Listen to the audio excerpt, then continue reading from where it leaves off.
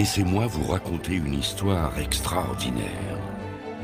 L'histoire de Jeanne, une jeune fille de 12 ans atteinte d'une leucémie. Une maladie du sang qui l'empêche de vivre comme les enfants de son âge. Jeanne a deux passions dans la vie, le cinéma et la comédie musicale. Chaque jour, elle aime s'évader dans un monde en couleur où tout est possible. Un monde où elle serait guérie.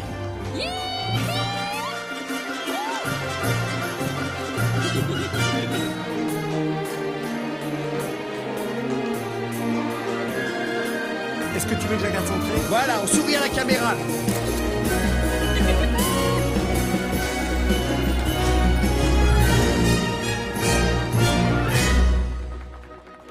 Coupé Serge, mets-moi le 60 Super, super, très bien, vous êtes incroyable, génial. Très bien, bravo, super, super, super. Clémence, Clémence, Clémence, il me faut du cheveu, du cheveu, plus de cheveux.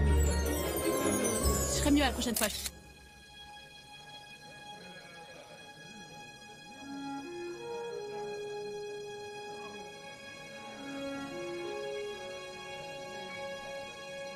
Va la chercher.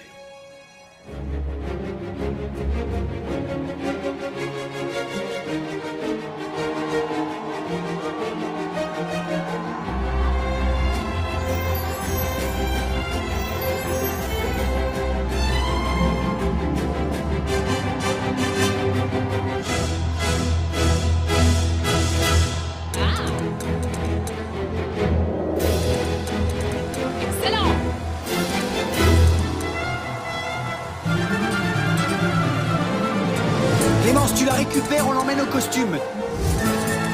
Trouve-lui une perruque, je veux qu'il ressemble à une princesse.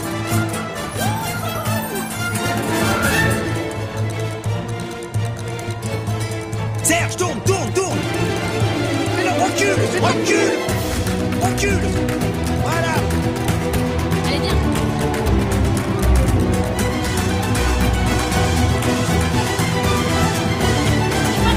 Serge, non, Serge, Serge, Serge, moi, c'est tout, moi, j'ai un je vais te tirer, je vais te tirer, c'est, je sais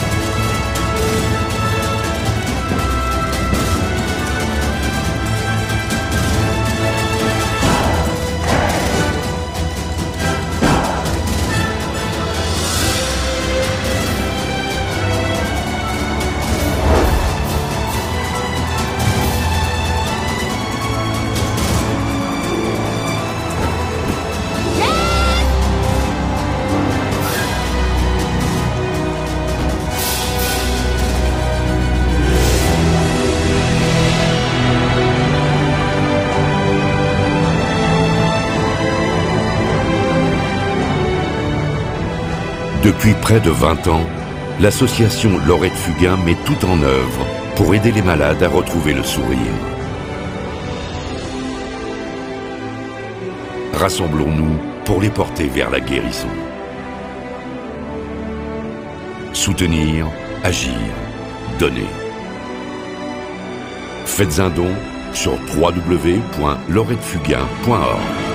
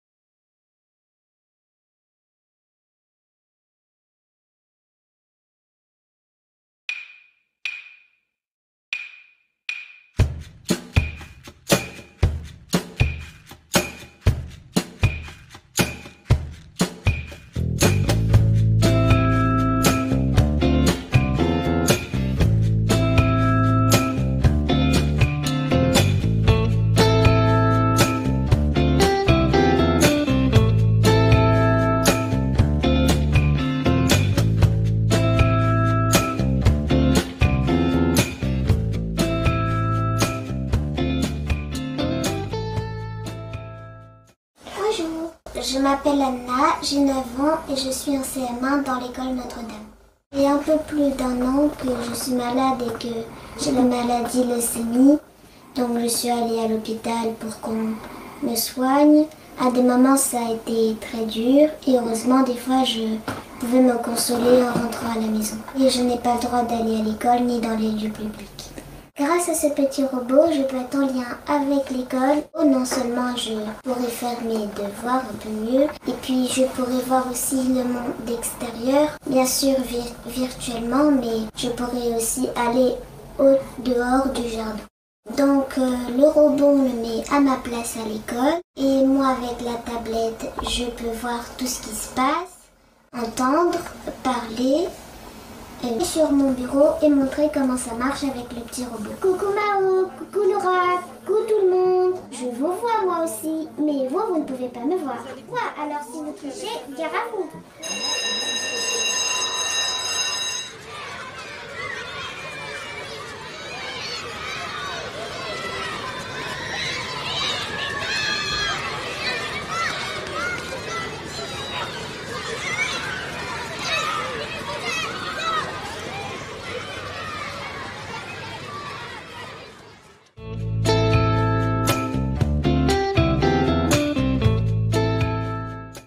À l'association Lorette Fugain, euh, la maman d'Anna nous a proposé d'accueillir un petit robot au sein de l'école, un petit élève en plus qui permettrait à Anna de suivre sa scolarité depuis la maison parce qu'elle est encore trop fragile.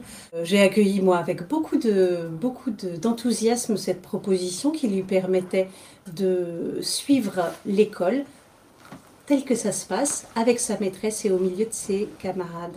Avec le petit robot, la présence d'Anna est bien réelle, puisque comme on l'a vu, le, petit robot parle, Anna peut lever le doigt, euh, et les enfants peuvent lui parler, et elle peut répondre aux questions de la maîtresse. Le lien qui se recrée entre école euh, et, Anna est essentiel aussi, peut-être pour sa guérison, en tout cas pour lui redonner envie de revenir à l'école.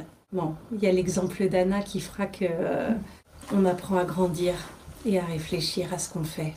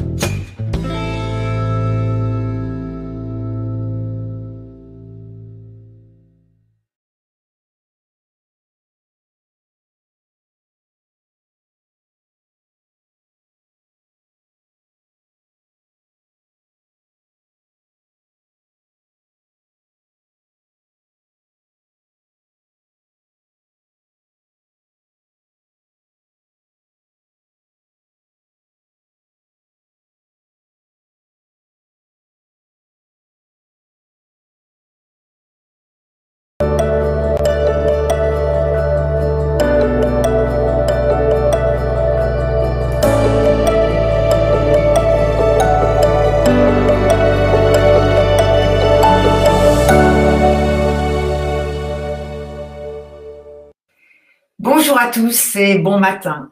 J'espère que vous allez bien, que vous êtes bien installés derrière votre ordinateur et que vous êtes prêts à suivre le programme qui a été réalisé pour vous tous. Avant toute chose, j'aimerais vous dire d'abord que je suis très triste de ne pas être avec vous réunis dans cette belle grande salle de la Mutualité de Paris. Mais pour les patients, les familles, les médecins, les professionnels de la santé, je suis vraiment heureuse que l'association ait réussi à maintenir avec quelques ajustements et beaucoup d'imagination cette deuxième édition des rendez-vous Lorraine Fugain. Elle nous donne une vraie visibilité sur les avancées de la recherche médicale. Elle répond aux attentes que malades, proches, médecins, soignants nous ont formulées.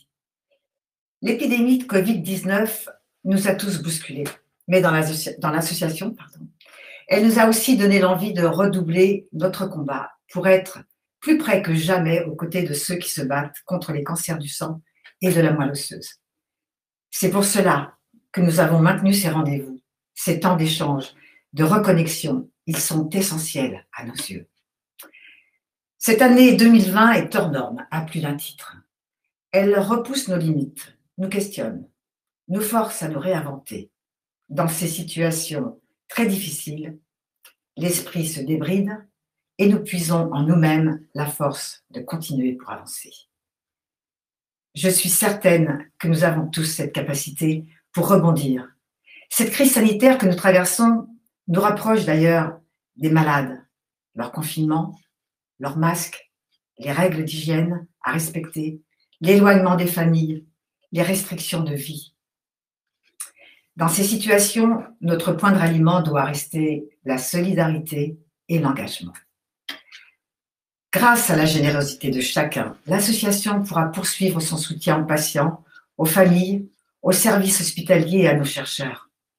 Nous continuerons de les aider, nous tenterons l'impossible, nous serons sur tous les fronts pour la poursuite de notre combat. Je voudrais remercier ici tous les professionnels de santé qui, malgré un agenda extrêmement chargé, ont accepté d'être présents pour répondre aux malades et à leurs familles. Remercier nos animateurs, Gérald Kierzek, chroniqueur médical, médecin urgentiste, et Damien Dubois, animateur santé. Et enfin, remercier toute mon équipe, Laurette Fugain, pour le travail colossal effectué depuis plusieurs semaines. Vraiment un immense merci. Et à vous tous qui êtes derrière vos écrans pour la confiance que vous nous accordez. Que ces rendez-vous soient pour tous porteurs d'espoir et de vie. Je vais maintenant laisser la parole au professeur Guy Leverger, pédiatre, onco-hématologue, J, pédiatrique à l'hôpital Armand Trousseau. Bonjour Stéphanie, euh, bonjour à toutes et à tous. Je suis très heureux d'introduire cette manifestation avec euh, Stéphanie Fugain. Euh, les circonstances sont particulières, mais je ne doute pas de l'intérêt que nous y trouverons tous. L'association Laurette Fugain, vous le savez, a beaucoup œuvré pour le don du sang, le don de plaquettes, de moelle osseuse, au bénéfice des patients. Elle a beaucoup œuvré également pour la recherche en favorisant, comme personne ne l'avait fait auparavant, la réflexion, la collaboration entre médecins cliniciens, médecins biologistes et chercheurs.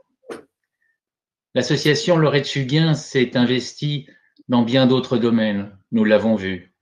L'accueil des patients hospitalisés, et en particulier des enfants et de leurs familles, le soutien à la formation du personnel infirmier, en France, mais aussi en Afrique. Et je sais que c'est un continent qui tient beaucoup à cœur à Stéphanie Fugain. L'association nous a aidés cette année dans un projet de recherche biologique et thérapeutique dans les leucémies aiguës de l'enfant en Afrique. Réunir dans une même assemblée, dans un même forum, les patients, les familles, les médecins, les soignants, les chercheurs, a été un nouveau défi c'est une association, et Stéphanie vit de défis, qui a été euh, parfaitement bien réussie euh, l'année dernière. Et cette année, c'était un défi encore plus important et la nécessité d'un enthousiasme qui euh, entoure Stéphanie et toutes celles et tous ceux qui collaborent avec elle au sein de l'association, mais aussi nous médecins qui sommes entraînés, médecins, chercheurs qui sommes entraînés par cette, cet enthousiasme et cette dynamique impulsé euh, par Stéphanie. Je ne doute pas que les thèmes cette année vous solliciteront votre, votre intérêt. Vous avez vu qu'ils sont, c'est un panel très large euh, de la recherche aux, aidants, la prise en charge en ambulatoire, la grève de moelle, la vie après la guérison. Bref, tout un programme absolument euh, fantastique. Alors, bonne réunion et euh, profiter de toutes ces présentations et de tous ces échanges qui vous seront faits. Et merci Stéphanie de ta confiance. Merci, merci Guy. Euh, maintenant, j'ai le plaisir de vous présenter euh, François Toujas, qui est président de l'établissement français du sang.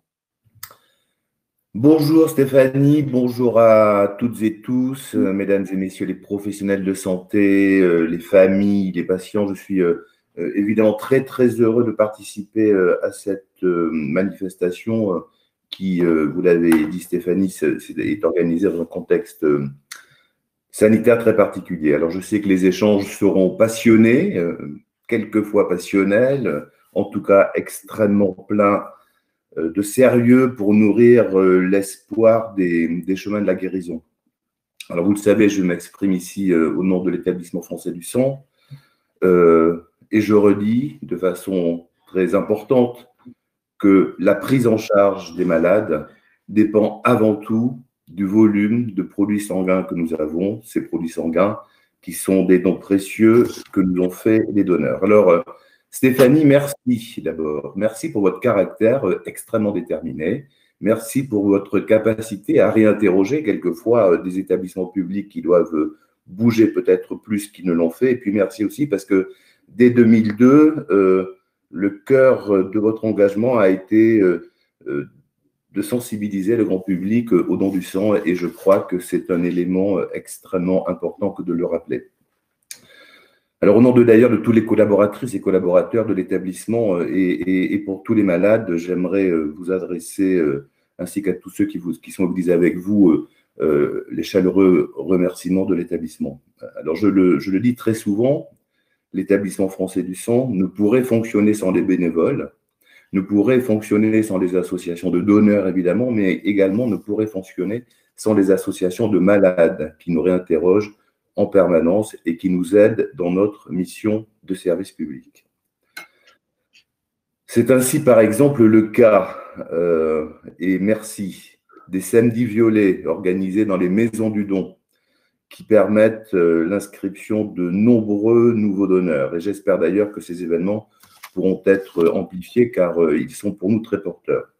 J'aimerais aussi dire un mot sur une initiative qui m'a beaucoup touché, beaucoup, beaucoup, beaucoup touché pendant le confinement, alors que la plupart des Français étaient bien évidemment confinés chez eux et que l'établissement français du sang mettait tout en œuvre pour essayer de maintenir euh, l'autosuffisance en produits sanguins. Vous avez lancé un, concours de slogans pour inciter les gens à, venir donner leur sang sur, sur les réseaux sociaux. Et Poste à tablette va donner des plaquettes. Poste à va donner des plaquettes. Pendant le confinement, je donne quand même mon sang. Mais écoutez, merci pour cette action collective qui a été euh, importante. Vous êtes de véritables partenaires.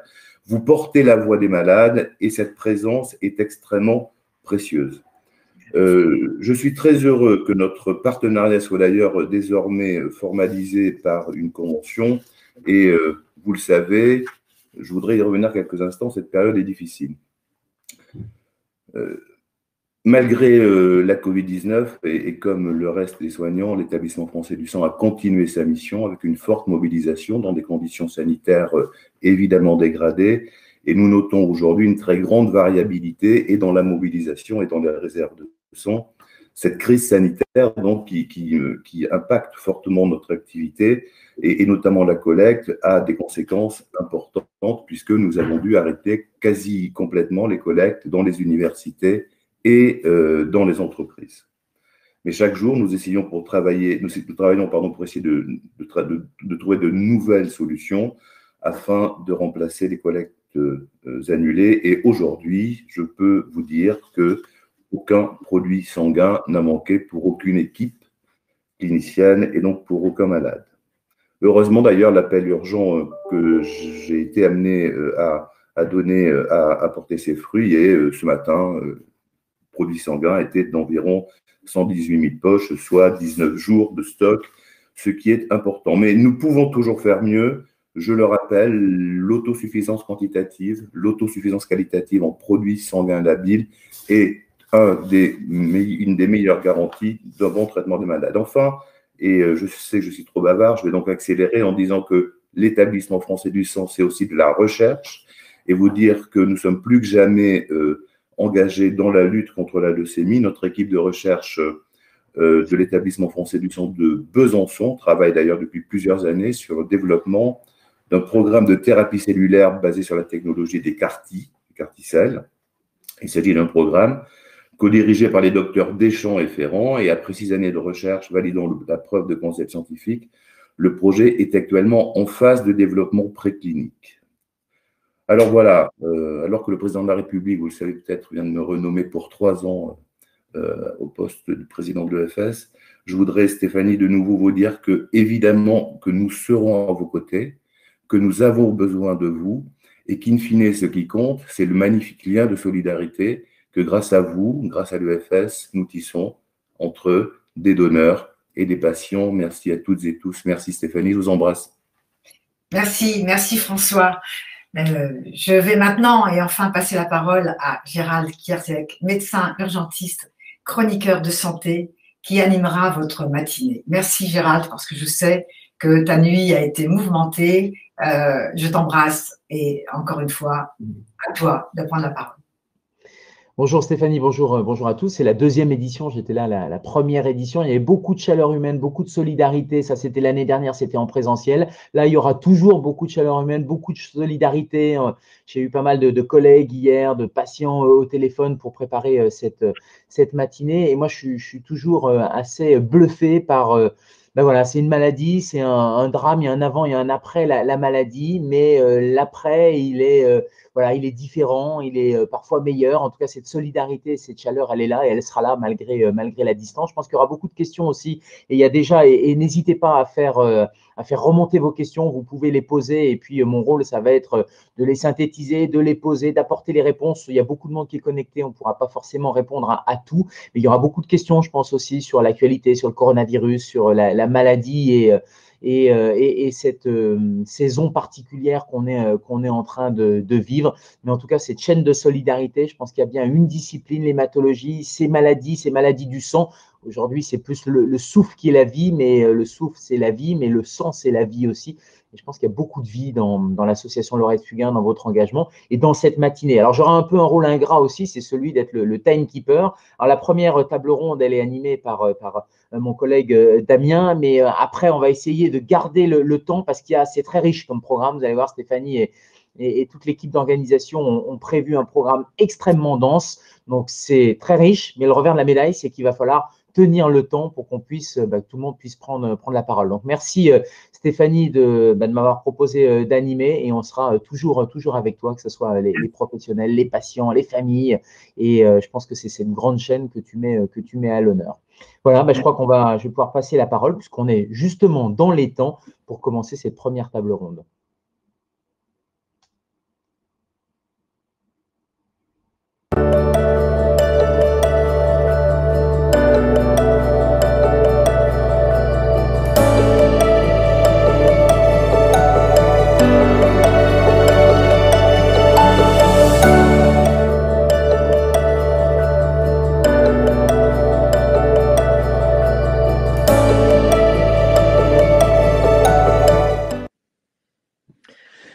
Tous. Euh, en fait, je suis ravi de, vous retrouver.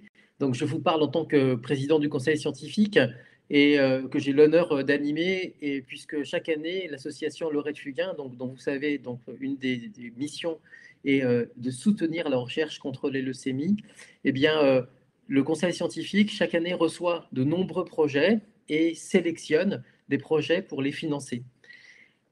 Nous avons choisi ce matin de vous partager quatre projets qui vont être discutés avec euh, votre animateur, avec euh, Damien, pour euh, vous faire part de ces quatre projets sélectionnés au cours des deux dernières années. Et c'est des projets, vous allez voir, qui sont très proches de la problématique du quotidien, puisque nous allons parler de la maladie, bah, comment est-ce qu'on peut faire mieux dans la maladie? Est-ce qu'il y a des, nouvelles, des nouvelles solutions à proposer? Pourquoi la maladie revient? Comment peut-on prévenir la rechute? Il y a aussi des questions sur pourquoi la maladie, la maladie, elle vient sur moi, pourquoi la maladie, elle vient sur mon proche, sur, sur ma famille, sur, sur mon enfant. Et puis aussi des questions sur, de recherche sur l'après-maladie. Et vous allez voir, il y a des questions, euh, comment peut-on prévoir la suite et euh, des questions sur la fertilité et, euh, et comment ben, justement on peut travailler sur la maladie et la fertilité et, et des questions justement euh, autour de tout ça. Donc, euh, je voudrais remercier euh, les quatre médecins-chercheurs euh, qui sont réunis ce matin parce qu'ils ont fait un travail vraiment important pour synthétiser un peu leurs leur recherches et pour pouvoir vous les partager. Donc, un grand merci à eux. Et puis, je vous souhaite une excellente matinée en, en, pouvant, en partageant tout cela ensemble pour que nous puissions toujours aller vers plus de progrès ensemble et pour aller plus, toujours plus loin vers demain.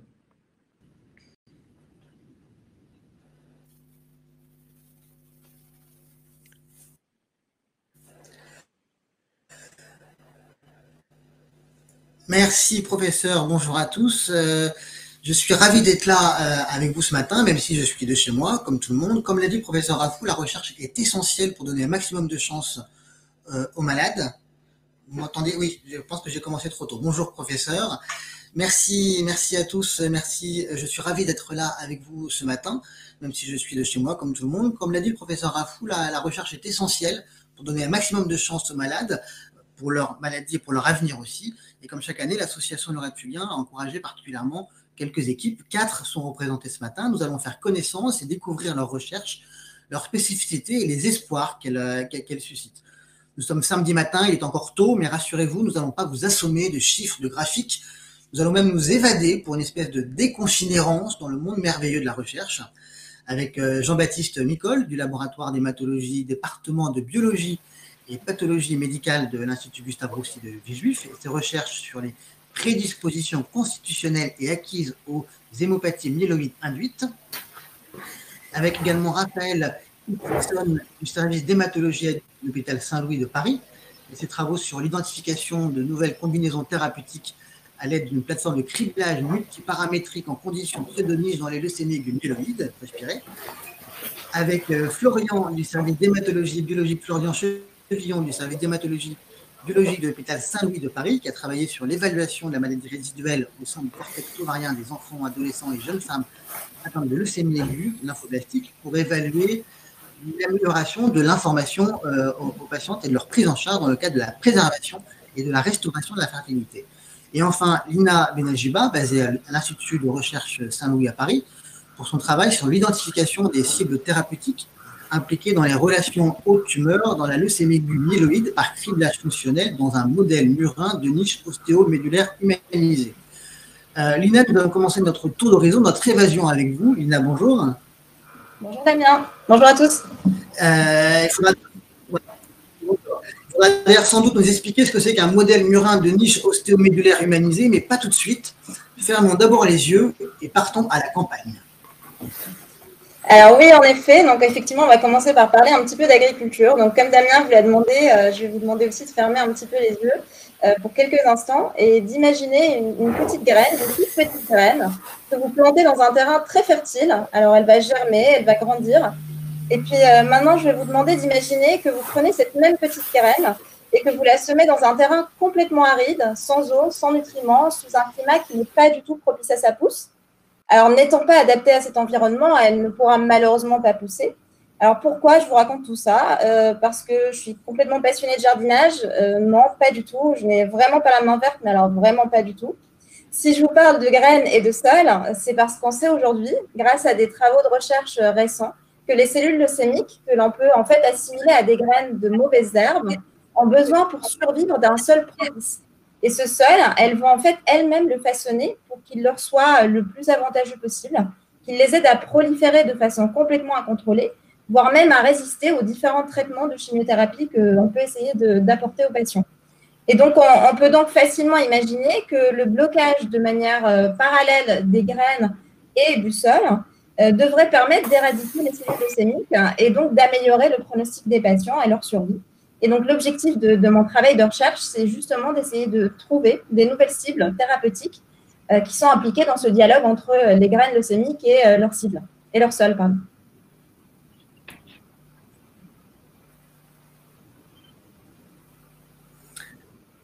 Merci. On, y est presque, on sent presque la terre humide et la, rosée du matin. J'ai jamais aussi bien compris des projets de recherche. Et avant de vous compléter, je voudrais continuer notre évasion matinale avec euh, Jean-Baptiste Nicole pour parler des prédispositions dans une autre maladie, l'hémopathie myéloïde induite. Mais pour comprendre cela, nous quittons la campagne pour nous enfoncer dans les bois. Oui, merci. Alors, effectivement, euh, nous, on travaille sur les leucémies euh, liées au traitement pour un premier cancer. Donc, on peut imaginer en fait que on a une forêt dans laquelle euh, on a quelques arbres qui, sont malades avec un parasite et pour, traiter ce parasite, on pulvérise en avion un antidote sur toute la forêt. Alors ça permet de détruire le parasite hein, et donc de guérir ce qui est le, ce qui est le premier cancer. Mais malheureusement, l'antidote peut tomber sur le, sol alors la plupart du temps, c'est pas très grave. Hein. Il tombe sur le sol, il, il détruit euh, quelques euh, herbes saines et qui repoussent euh, tranquillement. Et donc on n'a pas de souci. C'est ce qui se passe la plupart du temps. Un patient est traité de son cancer, il est guéri, il peut avoir certaines toxicités, mais pas de problème à long terme. Malheureusement, de temps en temps, il y a des mauvaises herbes qui repoussent. Et ces mauvaises herbes qui repoussent sur le sol, eh ben, c'est la moelle osseuse qui est atteinte par des cellules leucémiques. Et donc, on a une leucémie aiguë qui, qui, qui arrive. Et donc, la, la, question posée, c'était est-ce qu'il il y avait déjà des mauvaises herbes sur ce terrain? Et, donc, en fait, en, faisant tomber l'antidote, on, a détruit les bonnes herbes, mais les mauvaises herbes étaient résistantes à ce traitement et, elles ont pris la place.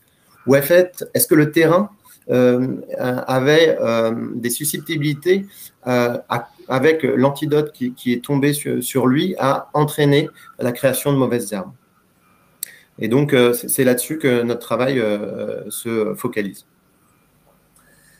Et donc, si je comprends bien, diminuer à ce moment-là les insecticides n'est pas la bonne solution. Alors effectivement, euh, diminuer l'antidote, l'insecticide qu'on fait, euh, qu'on fait descendre sur, sur, sur, sur la forêt, euh, ça reste quand même la bonne solution en partie. C'est ce qui est fait depuis plusieurs années. Mais ça veut dire que vous, au risque de diminuer l'efficacité pour le traitement du premier cancer. Donc il faut de toute façon guérir le premier cancer. Alors c'est vrai que on l'a montré, en diminuant l'intensité de, chimiothérapie, en diminuant cet antidote, dans certains cancers comme les maladies, comme euh, les maladies de Hodgkin, par exemple, en diminuant la chimiothérapie, diminuant la radiothérapie, on a moins de leucémie induite, euh, parce qu'évidemment, on est, on est moins toxique sur, le sol. On développe aussi des thérapeutiques ciblées, c'est-à-dire au lieu de pulvériser euh, l'antidote, l'insecticide sur toute la forêt, on, détruit juste les arbres malades, et donc on limite effectivement le risque leucémique. Mais même en faisant ça, c'est pas suffisant effectivement, et on a encore l'apparition de, ces leucémies secondaires. Donc en fait, euh, l'idée, euh, ça serait, euh, et c'est ce qu'on ce qu'on essaye de, faire, c'est effectivement d'être capable de détecter avant de traiter le cancer ces mauvaises herbes qui seraient sur le sol, soit en diminuant d'office le traitement du premier cancer parce qu'on sait qu'il y a ce risque qui peut arriver, soit en essayant à terme peut-être de traiter ces mauvaises herbes avant ou pendant qu'on traite le cancer. L'autre idée aussi, ça serait de protéger le sol euh, pendant le traitement euh, du cancer, hein, si c'était possible, pour éviter euh, les phénomènes dont on a parlé. Très bien, merci. Je ne sais pas si vous aussi, vous avez envie d'une poêlée de champignons au déjeuner, mais moi, ça commence à, monter. Pour conclure, en langage moins imagé quand même, quel est en, un mot, en une phrase, le but de cette recherche? Alors, le but, c'est vraiment identifier des états pré-leucémiques avant euh, l'apparition de la leucémie et être capable euh, d'éviter euh, la leucémie. Donc, c'est la prévenir, éviter qu'elle arrive.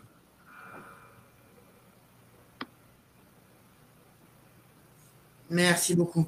Merci à vous. Je reviens vers, Lina. Je ne vous ai pas oublié avec votre je vous ai pas oublié avec votre modèle murin de niche ostéomédulaire humanisé. Euh, Kizako. Alors en fait, l'idée, c'est pour essayer de trouver des cibles qui euh, vont priver les cellules leucémiques de leur sol et donc les empêcher de pousser euh, correctement dans un sol euh, qui d'habitude leur est fertile, c'est qu'il a fallu d'abord reproduire au mieux les conditions réelles du développement de ces cellules leucémiques dans leur micro-environnement humain d'origine. Et donc pour ça, en fait, on a recréé ce qu'on appelle une niche ostéomédulaire humanisée en trois dimensions, qui est faite à partir de cellules souches et de cellules leucémiques qui proviennent de patients. Euh, et qui du coup, va, vraiment ressembler à ce qui se passe euh, au niveau de la moelle osseuse des patients. Euh, et donc, grâce à, une méthode qu'on dit de criblage génétique à haut débit, donc en gros, on va aller chercher un peu parmi tous les gènes, lesquels sont vraiment importants pour cette relation entre le sol et sa graine, pour pouvoir ensuite les inhiber et donc priver les cellules leucémiques de leur environnement protecteur. Et donc, à terme, on espère que ce projet va permettre euh, le développement de pistes thérapeutiques euh, vraiment originales pour les patients et donc euh, d'éviter toutes les rechutes qu'on voit arriver chez nos patients malheureusement.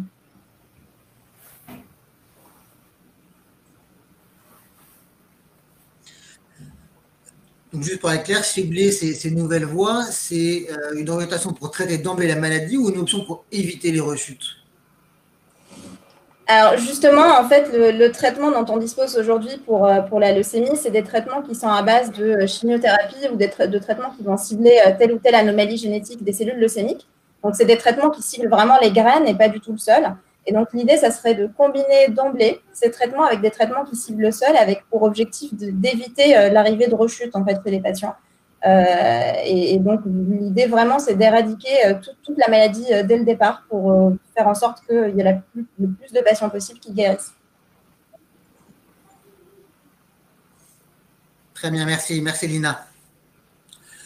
On va, on va revenir en ville, mais on ne va pas déconfiner, euh, se reconfiner encore trop vite.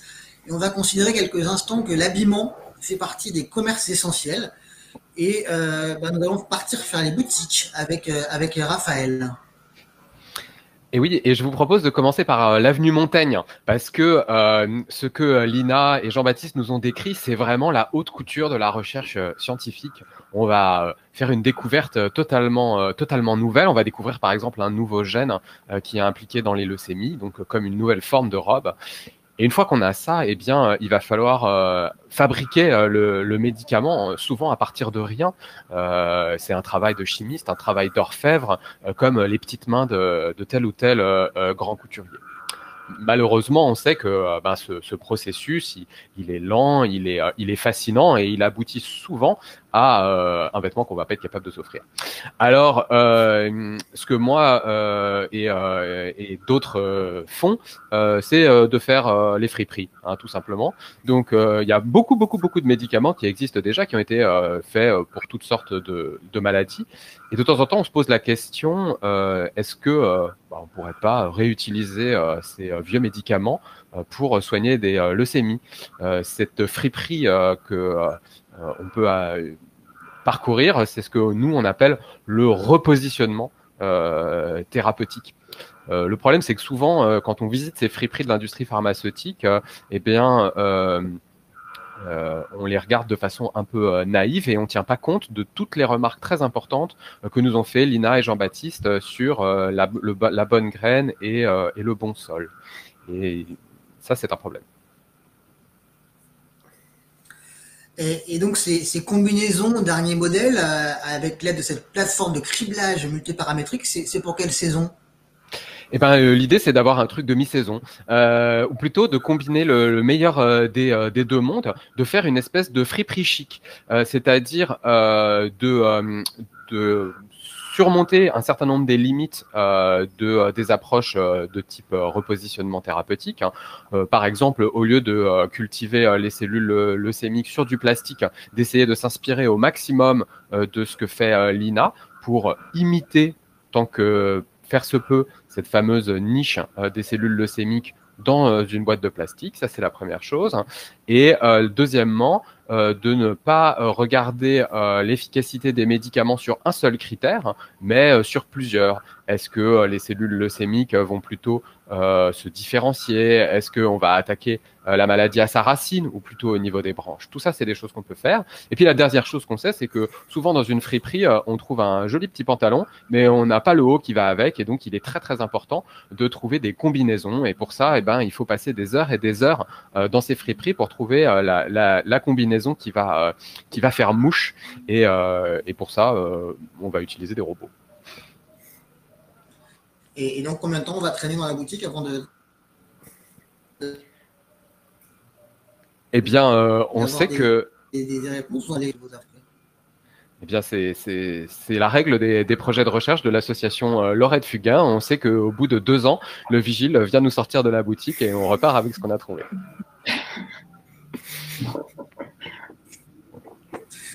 Merci, merci Raphaël. Bah, écoute, euh, j'achète, euh, je, je, sors mon chéquier pour quand, ça sortira, acheter cette, cette combinaison pour, pour, les malades.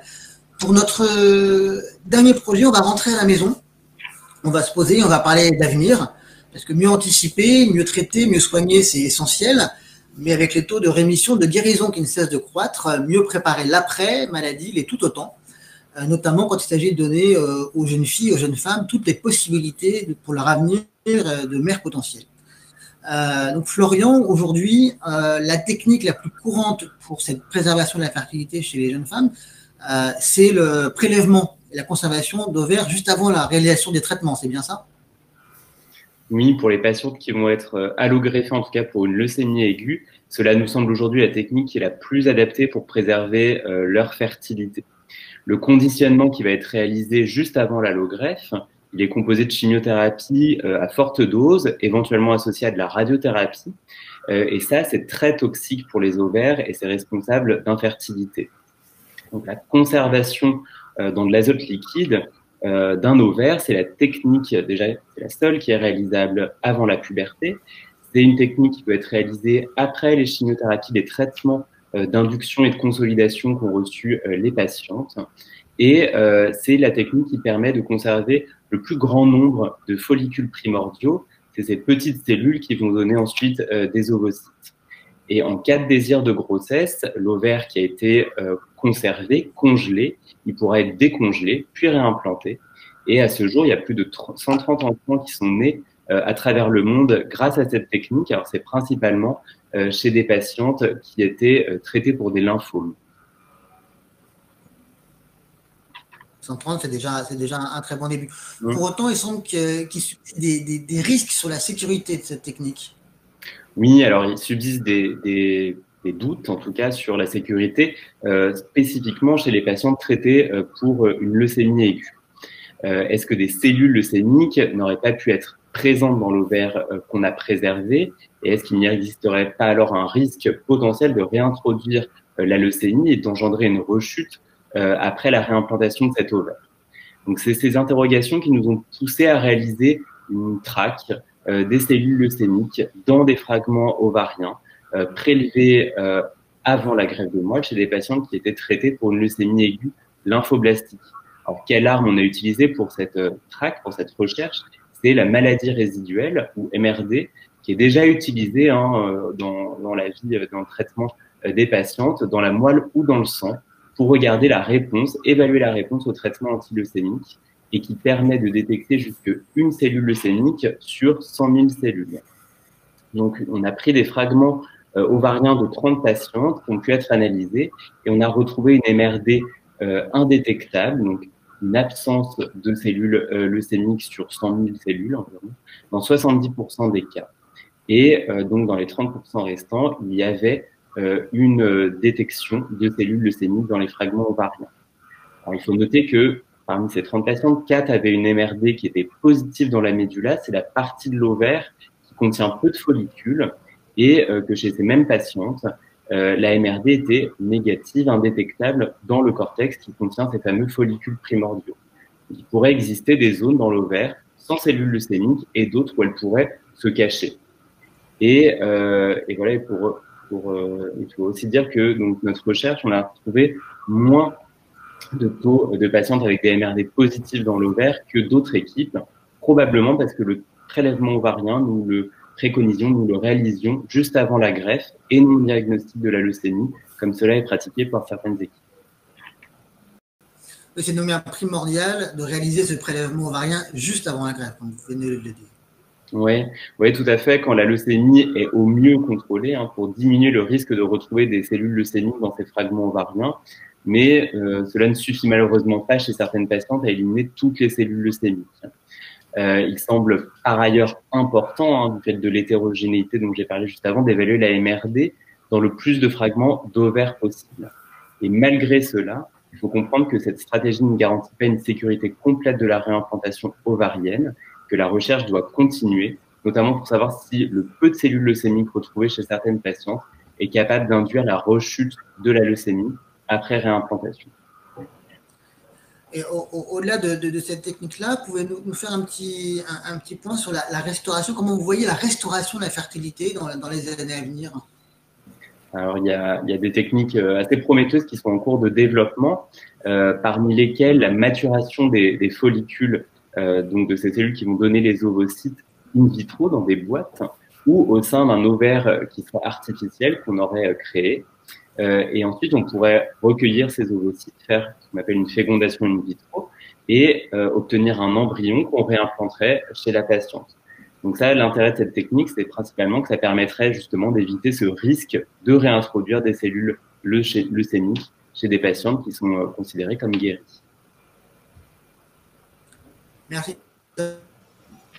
On voit que ça de, de nouveaux traitements, de nouvelles identifications, des anticipations des prédispositions, que ce soit également pour les, techniques de, préservation de la fertilité, qui est un, sujet qui a toujours été important pour l'association Le Fubien et pour moi à titre aussi personnel dans mon activité associative, euh, on, voit que les avancées sont, importantes, que cette déconfinérance que nous euh, avons fait là depuis, depuis 20 minutes est, assez, merveilleuse. Professeur Rafou, si vous êtes, toujours avec nous, euh, qu'est-ce que tout ça vous inspire? Est-ce que vous avez peut-être une question complémentaire, une remarque complémentaire à, apporter sur ces différents sujets?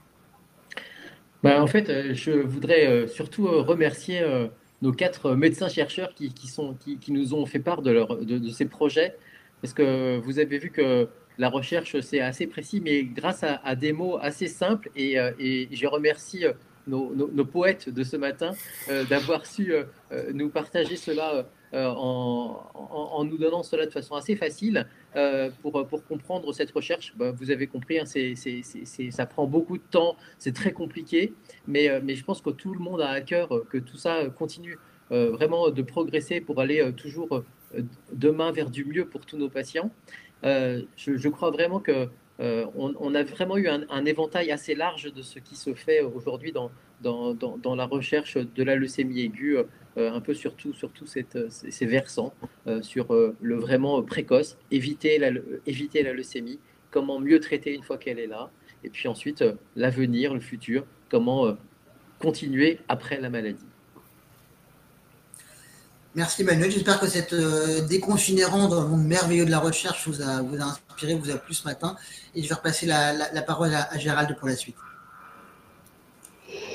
Merci Damien. Oui, comme tu dis, c'est un monde un, peu merveilleux. On voit que c'est un parcours de recherche, un parcours de soins, puis il y a un parcours de vie parce que les patients, et, vous l'avez euh, très bien dit, il n'y a pas que l'hôpital, il n'y a pas que la recherche, même si c'est euh, bien sûr ça qui va permettre d'avancer. Il y a aussi tout ce qui entoure et on rentre à la maison, on rentre de plus en plus à la, à la maison euh, et l'hôpital n'est qu'une étape de ce parcours-là. Et toutes les discussions qu'on va vous proposer maintenant, ben, elles sont autour de ce parcours de vie, justement. Euh, la première euh, grande discussion, c'est les proches, comment impliquer les proches, comment leur faire vivre aussi? Vous allez voir qu'il y a aussi de la recherche sur, sur la fratrie, par exemple, et ça va être l'objet de la, de la première grande discussion. Et puis après, on sortira de l'hôpital pour aller à l'hôpital à la maison, l'hospitalisation à domicile, on en parle de, plus en plus. Et là aussi, grâce à la recherche et grâce à de nouvelles euh, thérapeutiques, de nouveaux traitements, ben, les patients peuvent rentrer euh, à la maison. Alors, il n'y a pas euh, la maison qui s'oppose à, l'hôpital, il y a un, lien, il y a une continuité. On verra que les nouvelles technologies aussi peuvent aider à maintenir, maintenir ce lien.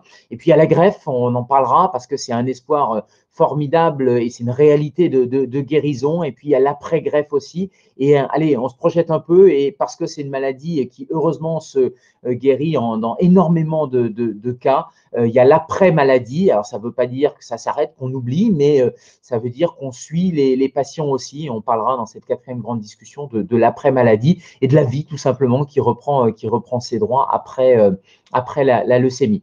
On va démarrer avec, et, merci euh, Damien d'avoir tenu aussi le, timing, on va démarrer, euh, puisqu'on est à l'heure, dans cette première grande discussion, avec la place des proches face à, la leucémie. C'est vrai qu'il y a les malades, il y a euh, les proches, les parents quand il s'agit de, jeunes malades, mais il y a aussi des proches qui sont les frères et sœurs. Et euh, l'impact, le ressenti, les, partages d'expériences, c'est important pour pouvoir euh, bah, améliorer les, prises en charge.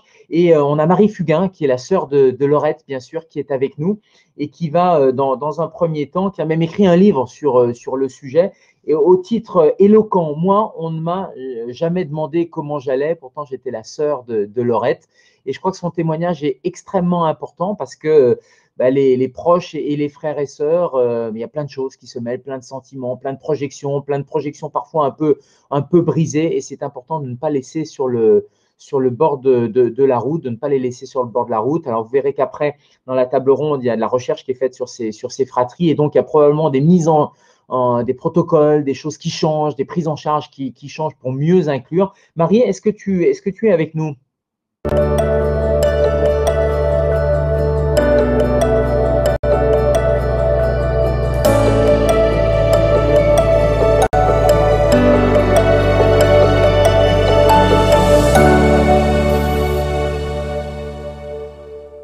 Bonjour Gérald. Alors, je disais qu'il y avait, euh, on a vu le parcours de, recherche, le parcours de soins, mais il y a le parcours des proches, parce que finalement, c'est un parcours de vie, hein, la maladie. Et, quand on se, parlait, et on voit ton, livre qui apparaît, tu, me disais que finalement, tu avais eu cette impression d'être un peu à côté du, parcours. Alors, il y avait les infirmières, il y avait toute l'équipe qui était là quand tu venais à l'hôpital et, heureusement. Mais l'impression globalement que tu avais, et le titre de, ton livre, moi, on ne m'a jamais demandé comment j'allais, c'était d'avoir été un peu mise de côté, d'avoir été un peu mise à l'écart dans, le parcours, notamment hospitalier de Lorette. Oui, ça a été, moi j'ai été mise à l'écart par les médecins, mais à la limite, je me dis que c'était normal parce que les médecins s'adressaient à mes parents. Euh, c'était à eux qui devaient donner les informations et euh, de façon plus ou moins brutale à l'époque, mais c'était peut-être euh, comme ça que ça se passait. Et, mais en revanche, les personnes qui ne m'ont pas abandonné, c'était les infirmières, les infirmiers, les internes, qui ont été excessivement présents, bienveillants, beaucoup de, qui ont fait preuve d'une empathie incroyable et qui m'ont permis d'être avec eux tout le temps. Je passais mon temps dans, dans, soit dans la chambre de Lorette, soit dans la, chambre, la, la salle des infirmières. Et j'avais un peu l'impression d'être infirmière moi-même. Et puis, euh, et ça a été vraiment ma deuxième famille à ce moment-là. Pendant dix mois et six jours, ces gens-là ont fait partie de ma famille. Et euh, on a fêté des anniversaires avec elles dans la salle des infirmières. Elles nous ont permis de vraiment prendre part à toute la vie et à rester. On dormait la nuit sur des, des, des matelas de fortune par terre parce que les, les sièges n'étaient pas très confortables. Mais ça a été, euh, elles ont été extraordinaires. Et ce livre, c'était aussi pour leur rendre, pour leur rendre hommage parce qu'elles sont une, pièce maîtresse de l'hôpital. Tu, disais que ça a été euh, euh, très court parce que dans la réalité, finalement, l'accompagnement, ça a été moins d'un an et en même temps, ça, t'a paru être une éternité, que ça a été euh, extrêmement long. Alors que la réalité des choses, c'est que ça a été malheureusement quelques mois. Ça a été très court, c'était donc dix mois et, six jours. ça a été court et en même temps, il s'est passé énormément de choses est passée de chimiothérapie en chimiothérapie, de radiothérapie. Euh, elle a été opérée d'un poumon.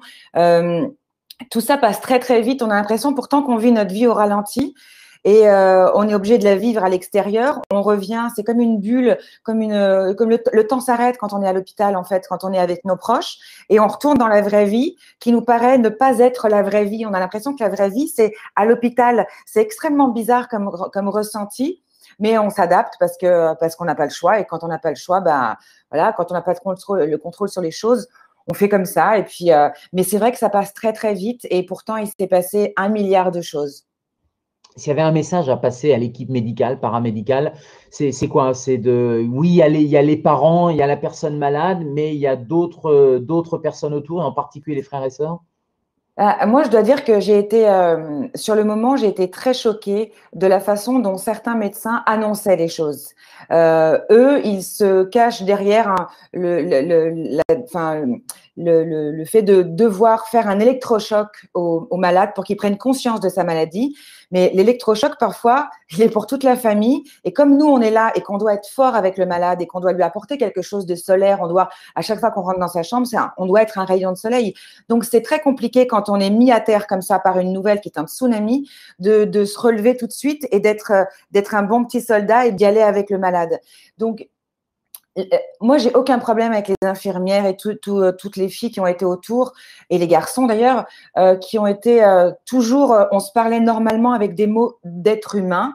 Et je trouve que les médecins arrivaient, et puis eux, c'était paf, quoi, la porte dans la figure. Mais c'est pour que vous preniez conscience des choses. Alors, je ne sais pas si ça a changé. Peut-être que ça a évolué, ça fait 19 ans hein, maintenant. Mais sur le moment, c'est compliqué de s'en remettre et c'est compliqué, nous, d'apporter après quelque chose de de solaire, de bienveillant et de, positif, quoi, parce que nous, c'est notre rôle.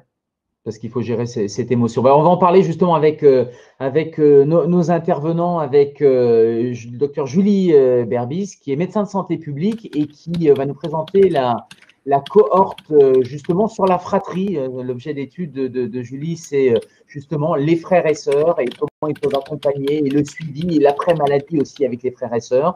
On trouvera Julien Buffnoir qui euh, nous parlera plus des aspects euh, psychologiques également et comment aider, comment accompagner, comment donner cette énergie. C'est un problème d'énergie dont tu nous parlais, euh, Marie. Comment repartir avec cette énergie positive pour accompagner au mieux la personne malade.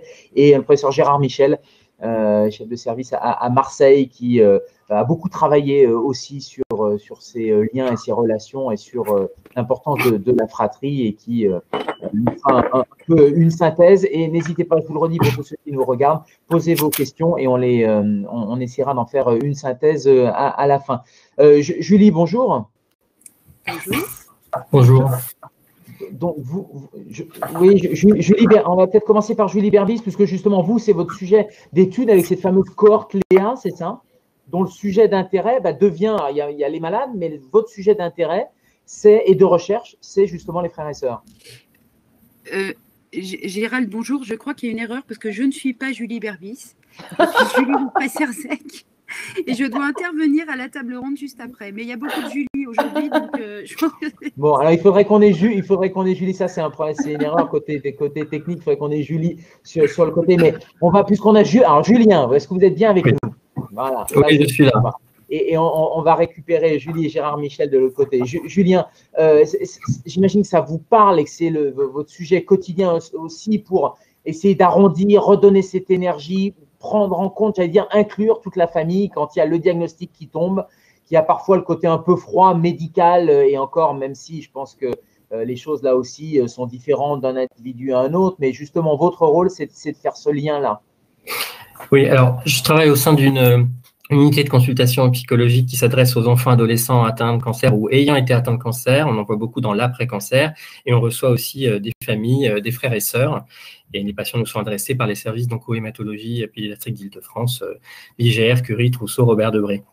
Bon, en fait, la, la maladie d'un enfant entraîne un considérable bouleversement dans une famille. Ça génère des tumultes émotionnels euh, qui aboutit forcément à, la, à une réorganisation de tout le système familial qui se réorganise autour de l'enfant malade. Donc, ça a un impact sur tous et sur tous les liens au sein de la famille.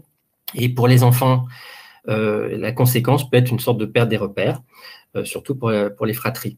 Donc, j'insiste sur, euh, sur tout ça euh, pour dire que dans une certaine mesure, quoi qu'on fasse, même si tout le monde fait au mieux, il y a des impacts et c'est comme ça pour tout événement de vie. Donc on fait au mieux et on ne peut pas tout prévenir.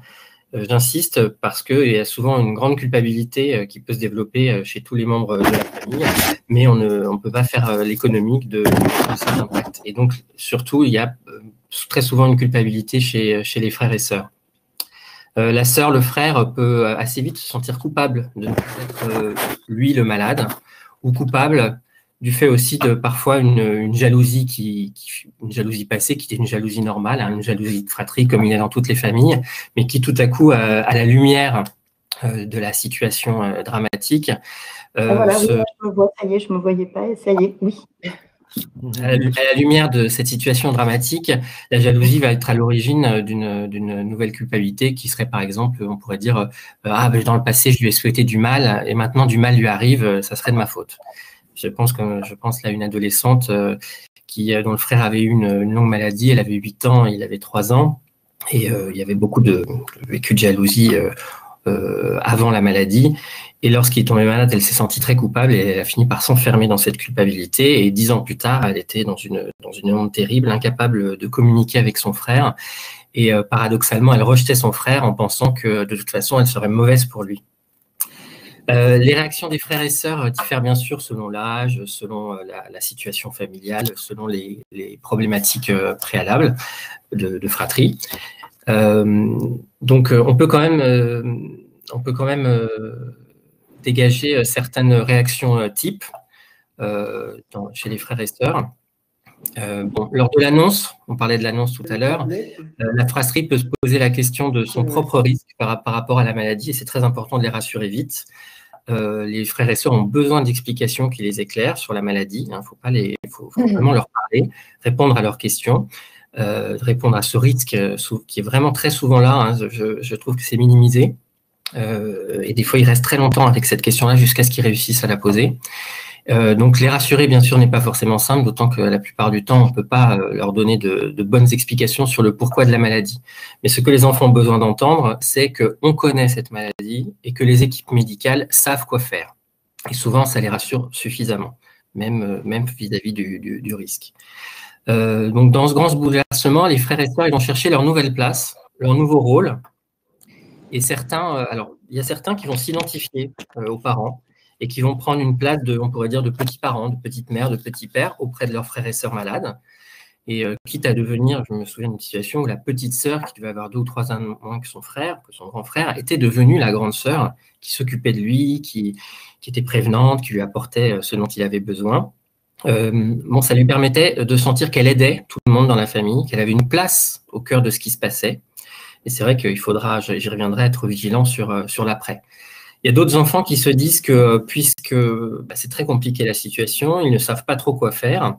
Et donc peut-être la meilleure façon d'aider, c'est de ne pas gêner, euh, de se mettre un peu en repli. Alors ils se mettent de côté, euh, ils font comme si tout allait bien, ils font pas de vagues. Euh, ça peut aller jusqu'à des ados qui suspendent leur crise d'adolescence. et puis même s'ils même s'ils souffrent, même s'ils sont tristes, même s'ils sont inquiets, très souvent ils ne vont rien dire pour ne pas charger les parents.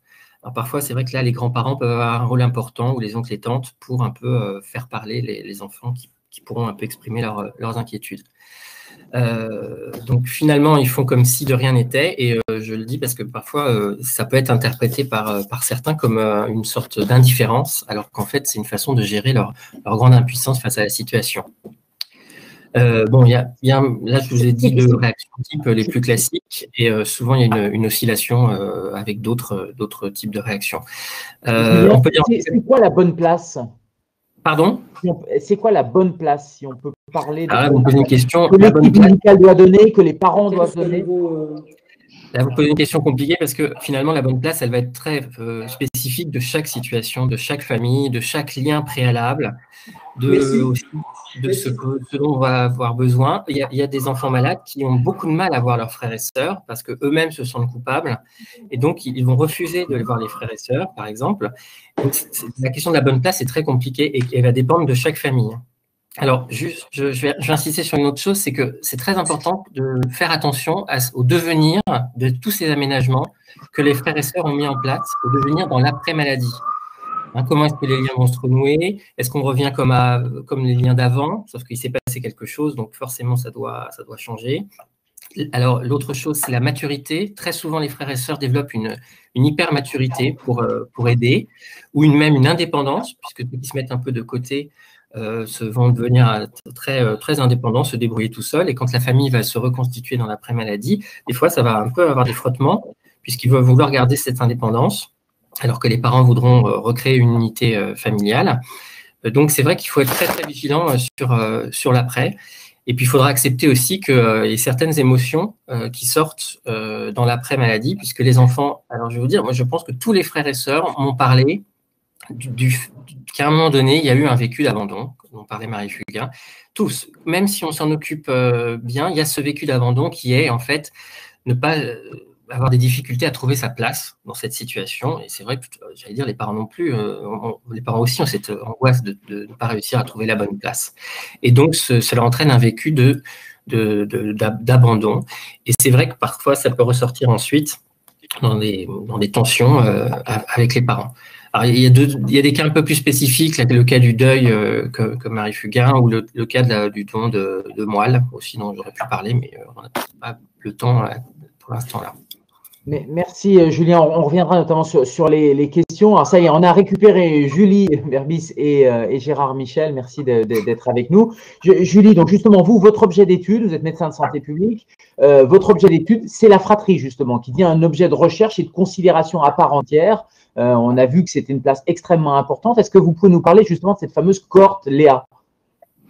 Alors oui, bonjour Gérald, bonjour à, tout le monde. Alors donc moi je travaille dans le cadre d'un projet de recherche euh, qui est coordonné à Marseille par le professeur Gérard Michel, qui est ici, euh, qui s'intéresse à comprendre le devenir à long terme de patients qui ont euh, guéri d'une leucémie pédiatrique et donc qui organisent un suivi régulier au travers de, consultations qui ont, lieu tous les deux ans ou tous les quatre ans. Et en fait, en discutant avec les, cliniciens qui assurent ces consultations de suivi à long terme, je, je, me suis rendu compte en échangeant avec eux bah, qu'ils avaient peu de temps finalement à accorder au, cours de, ces consultations-là euh, à, la, euh, aux questions qui touchaient euh, aux, frères et sœurs, malgré des besoins qu'ils pouvaient, pouvaient percevoir. Et finalement, que dans cette organisation de suivi à long terme, après cancer, bah, on, a, on a peu le temps de demander à la fratrie et donc aux frères et sœurs comment est-ce qu'ils vont eux quel impact cet événement il pouvait avoir, euh, avoir eu euh, et continuer d'avoir euh, pour eux, et puis quelle place ils avaient, eux, dans cette, dans cette période d'après-cancer. Donc, en regardant un petit peu la littérature, je me suis aperçue que bah, dans la compréhension de, de l'après-cancer, les frères et sœurs, ils servent souvent de, de comparateurs en fait pour regarder par rapport à à l'ancien patient, bah, est-ce qu'il y a des, différences de, de devenir, ou bien alors on s'intéresse aux frères et sœurs sur la phase aiguë ou le court terme et finalement très très peu sur leur leur, leur bien-être à, à, distance et à long terme. Donc en parallèle de cette cohorte Léa qui suit des anciens euh, patients euh, euh, qui ont guéri d'une leucémie aiguë, j'ai mis en place le projet de recherche FRALEA qui donc s'intéresse particulièrement aux frères et sœurs de ces anciens patients pour explorer leur, qualité de vie, le, le, fonctionnement familial perçu. Julien donnait des éléments là-dessus, euh, justement, euh, à distance, et puis également leur, leur, parcours scolaire, leurs insertions professionnelles. Donc, donc, voilà, explorer vraiment cette, cette question avec une attention toute particulière. Julien a dit un petit mot aussi sur le, les frères et sœurs d'honneur dans le contexte dans le contexte d'un traitement par greffe. C'est la recherche appliquée, donc euh, l'objectif, c'est quoi, in fine? C'est de sortir un peu des profils particuliers et donc des protocoles de prise en charge particuliers, bref, une modification des pratiques. Exactement. L'objectif, c'est d'essayer de mieux comprendre euh, euh, quels sont euh, le, les profils qui peut-être pourraient se retrouver plus en difficulté à distance et pouvoir adapter dans l'organisation du suivi à long terme d'après cancer pédiatrique une place plus importante à, à l'entourage et à, la fratrie et donc comprendre à, mieux repérer des, profils qui seraient plus fragiles ou avec des besoins d'accompagnement plus particuliers. C'est le cas déjà, il y a eu des choses concrètes de, mise en place suite à, cette, à, ces recherches, des modifications? Vous travaillez dans le service avec, avec Gérard Michel, justement des choses très concrètes qui euh, sont issues de, de, de, cette, de ce suivi de cohorte alors, euh, en ce qui concerne euh, l'entourage et, euh, la fratrie, le projet il est encore en cours. Donc, les, les, premiers résultats, on commence à, les avoir, mais les choses ne sont, pas encore, sont pas encore stabilisées. Donc, concrètement, à, l'issue de ce programme de recherche, il n'y a pas encore de, de, modifications qui, en, qui en découlent. Mais, mais l'objectif, c'est vraiment, vraiment, ce, vraiment celui-ci. Très bien, merci Julie. On va passer la, parole à Gérard Michel, euh, clinicien. Du coup, vous, vous travaillez hein, et j'imagine que vous attendez un peu avec euh, impatience, même si euh, vous prenez déjà en charge les patients, la fratrie dans la pratique quotidienne depuis des années, mais vous attendez aussi beaucoup de, ce suivi de cohorte et de cette recherche pour justement aller dans une peut-être meilleure direction? Oui, bien sûr. Et je remercie Julie Berbis de, tout ce qu'elle fait dans ce sens. J'ai écouté avec beaucoup d'intérêt ce qu'a dit Marie Fugain, pas très très tendre avec les médecins, mais j'espère pouvoir euh, la, rassurer au moins en partie sur euh, l'évolution des choses. Maintenant, euh, tout le monde est d'accord, toutes les études qui ont été faites nous, nous ont fait prendre conscience que le parcours de la fratrie est très difficile depuis le jour du diagnostic inquiétude, tristesse de connaître, de, savoir son frère ou sa soeur malade, ses parents dans la peine, sensation d'exclusion que vous avez très bien euh, exprimée, culpabilité de ne rien faire, parfois colère, jalousie. Et je crois que petit à petit, des nouvelles ressources se mettent en place avec euh, un maître mot pour nous les, hématologistes pédiatres qui est essayer d'impliquer la fratrie. Parce que finalement, tout, tout, est là. Euh, si on arrivait à les impliquer plus, eh bien, bien sûr, ils se sentiraient moins exclus. Et je crois que ça, peut, ça doit commencer dès l'annonce. Je, en discutant avant, de, avant cette, cette, table ronde avec différents médecins du service que je dirige, euh, tous euh, m'ont dit qu'ils qu'il était très fréquent, et, c'est également mon vécu bien sûr, que les parents disent mais comment je vais expliquer ça au frère et à la sœur, ou à la sœur, et euh, euh, presque tous euh, accueillent cette question avec beaucoup de, bienveillance, disent ce que nous pensons, et puis proposent de voir la fratrie pour discuter. avec la fratrie. Et puis aussi, les impliquer, c'est aussi faire retomber un certain nombre d'interdits de, qui, qui existent sur les services de pédiatrie. Il est théoriquement interdit aux enfants mineurs de venir dans un service de pédiatrie comme visiteur. Et, ceci, nous l'avons, nous l'avons fait tomber il y a maintenant plusieurs années, euh, une dizaine d'années. Tous les, les, les, frères et sœurs sont, euh, sont euh, invités à, venir, c'est, possible pour eux. Je pense que donc il faut pendant toute la durée du, traitement essayer de les impliquer, y compris malheureusement quand, sur, quand survient une phase palliative ou euh, en discutant avec l'équipe de soins palliatifs du service que je dirige, ils, m'ont tous dit que la préoccupation de la fratrie faisait partie de leurs critères de qualité du, soin palliatif, y compris l'accompagnement dans le deuil, euh, lorsque malheureusement c'est possible. Le, la dernière chose, ça a été que, que je voulais dire, euh, et, et, ça a été déjà un petit peu évoqué, c'est le, le problème, enfin le problème, c'est pas le problème, la situation le contexte des donneurs mineurs de cellules souches hématopoïétiques. Et finalement, euh, vous, savez que le don de le don d'organes est interdit chez, l'enfant. Un enfant ne peut pas donner un organe, mais il y a une exception qui a été faite dans une loi de bioéthique, qui est le fait de donner un greffon de cellules souches hématopoïétiques pour son frère sa sœur. Et le législateur avait accompagné cela de, l'idée qu'il fallait euh, qu'un comité d'experts et une psychologue s'assurent que l'enfant n'est pas contraint. Eh bien, sachez que euh, cette, euh, finalement, le, ce but initial qui était bien minime, mineur, a été largement dépassé et qu'on en profite pour parler avec le donneur de cellules sous hématopoïétiques de, ce qu'il va faire et, je crois que et lui proposer également un suivi euh, après le, don de cellules sous hématopoïétiques. Donc, si, je peux me permettre de, de finir sur euh, une note d'espoir, Marie, euh, Marie Fugain, sachez que on se préoccupe de, de, de, de la fratrie et bon, on est bien conscient de nos insuffisances, mais je, c'est une préoccupation qui pour nous est une préoccupation importante. Merci Gérard. On va rebondir sur les questions justement et puis je vais vous passer la, parole à, tour de rôle. On a euh, Florence qui nous dit, je voudrais savoir pourquoi les médecins ne reçoivent que les parents pour expliquer la maladie. Euh, mes filles étaient adultes au moment de la découverte de la leucémie et j'aurais aimé qu'elles soient à côté pour mieux comprendre à quoi nous allons être confrontés. Alors ça, j'imagine que c'est très variable d'un service à un autre, Gérard. Euh, oui, mais il est normal que la première que le premier entretien d'annonce soit fait avec les parents et l'enfant parfois, euh, mais il est également important que pendant cet entretien, au moins lorsque la famille soulève ce point, euh, on puisse proposer de voir dans un second temps la fratrie. Et franchement, on le fait.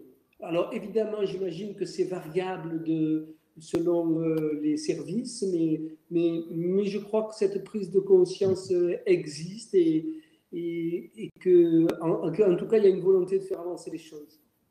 Tout à l'heure, vous avez prononcé le mot interdit et il y a Jennifer qui nous dit justement il y a, la fratrie n'a pas été prise en compte, elle ne se fait pas même au point d'interdire les visites des, frères et sœurs. Ça, c'est quoi? C'est euh, quelque chose qui est une pratique du passé, qui ne se fait plus, qu'il soit mineur, majeur. Alors j'imagine qu'en plus là, il y a les contraintes coronavirus en ce moment, mais euh, là aussi, les pratiques ont changé.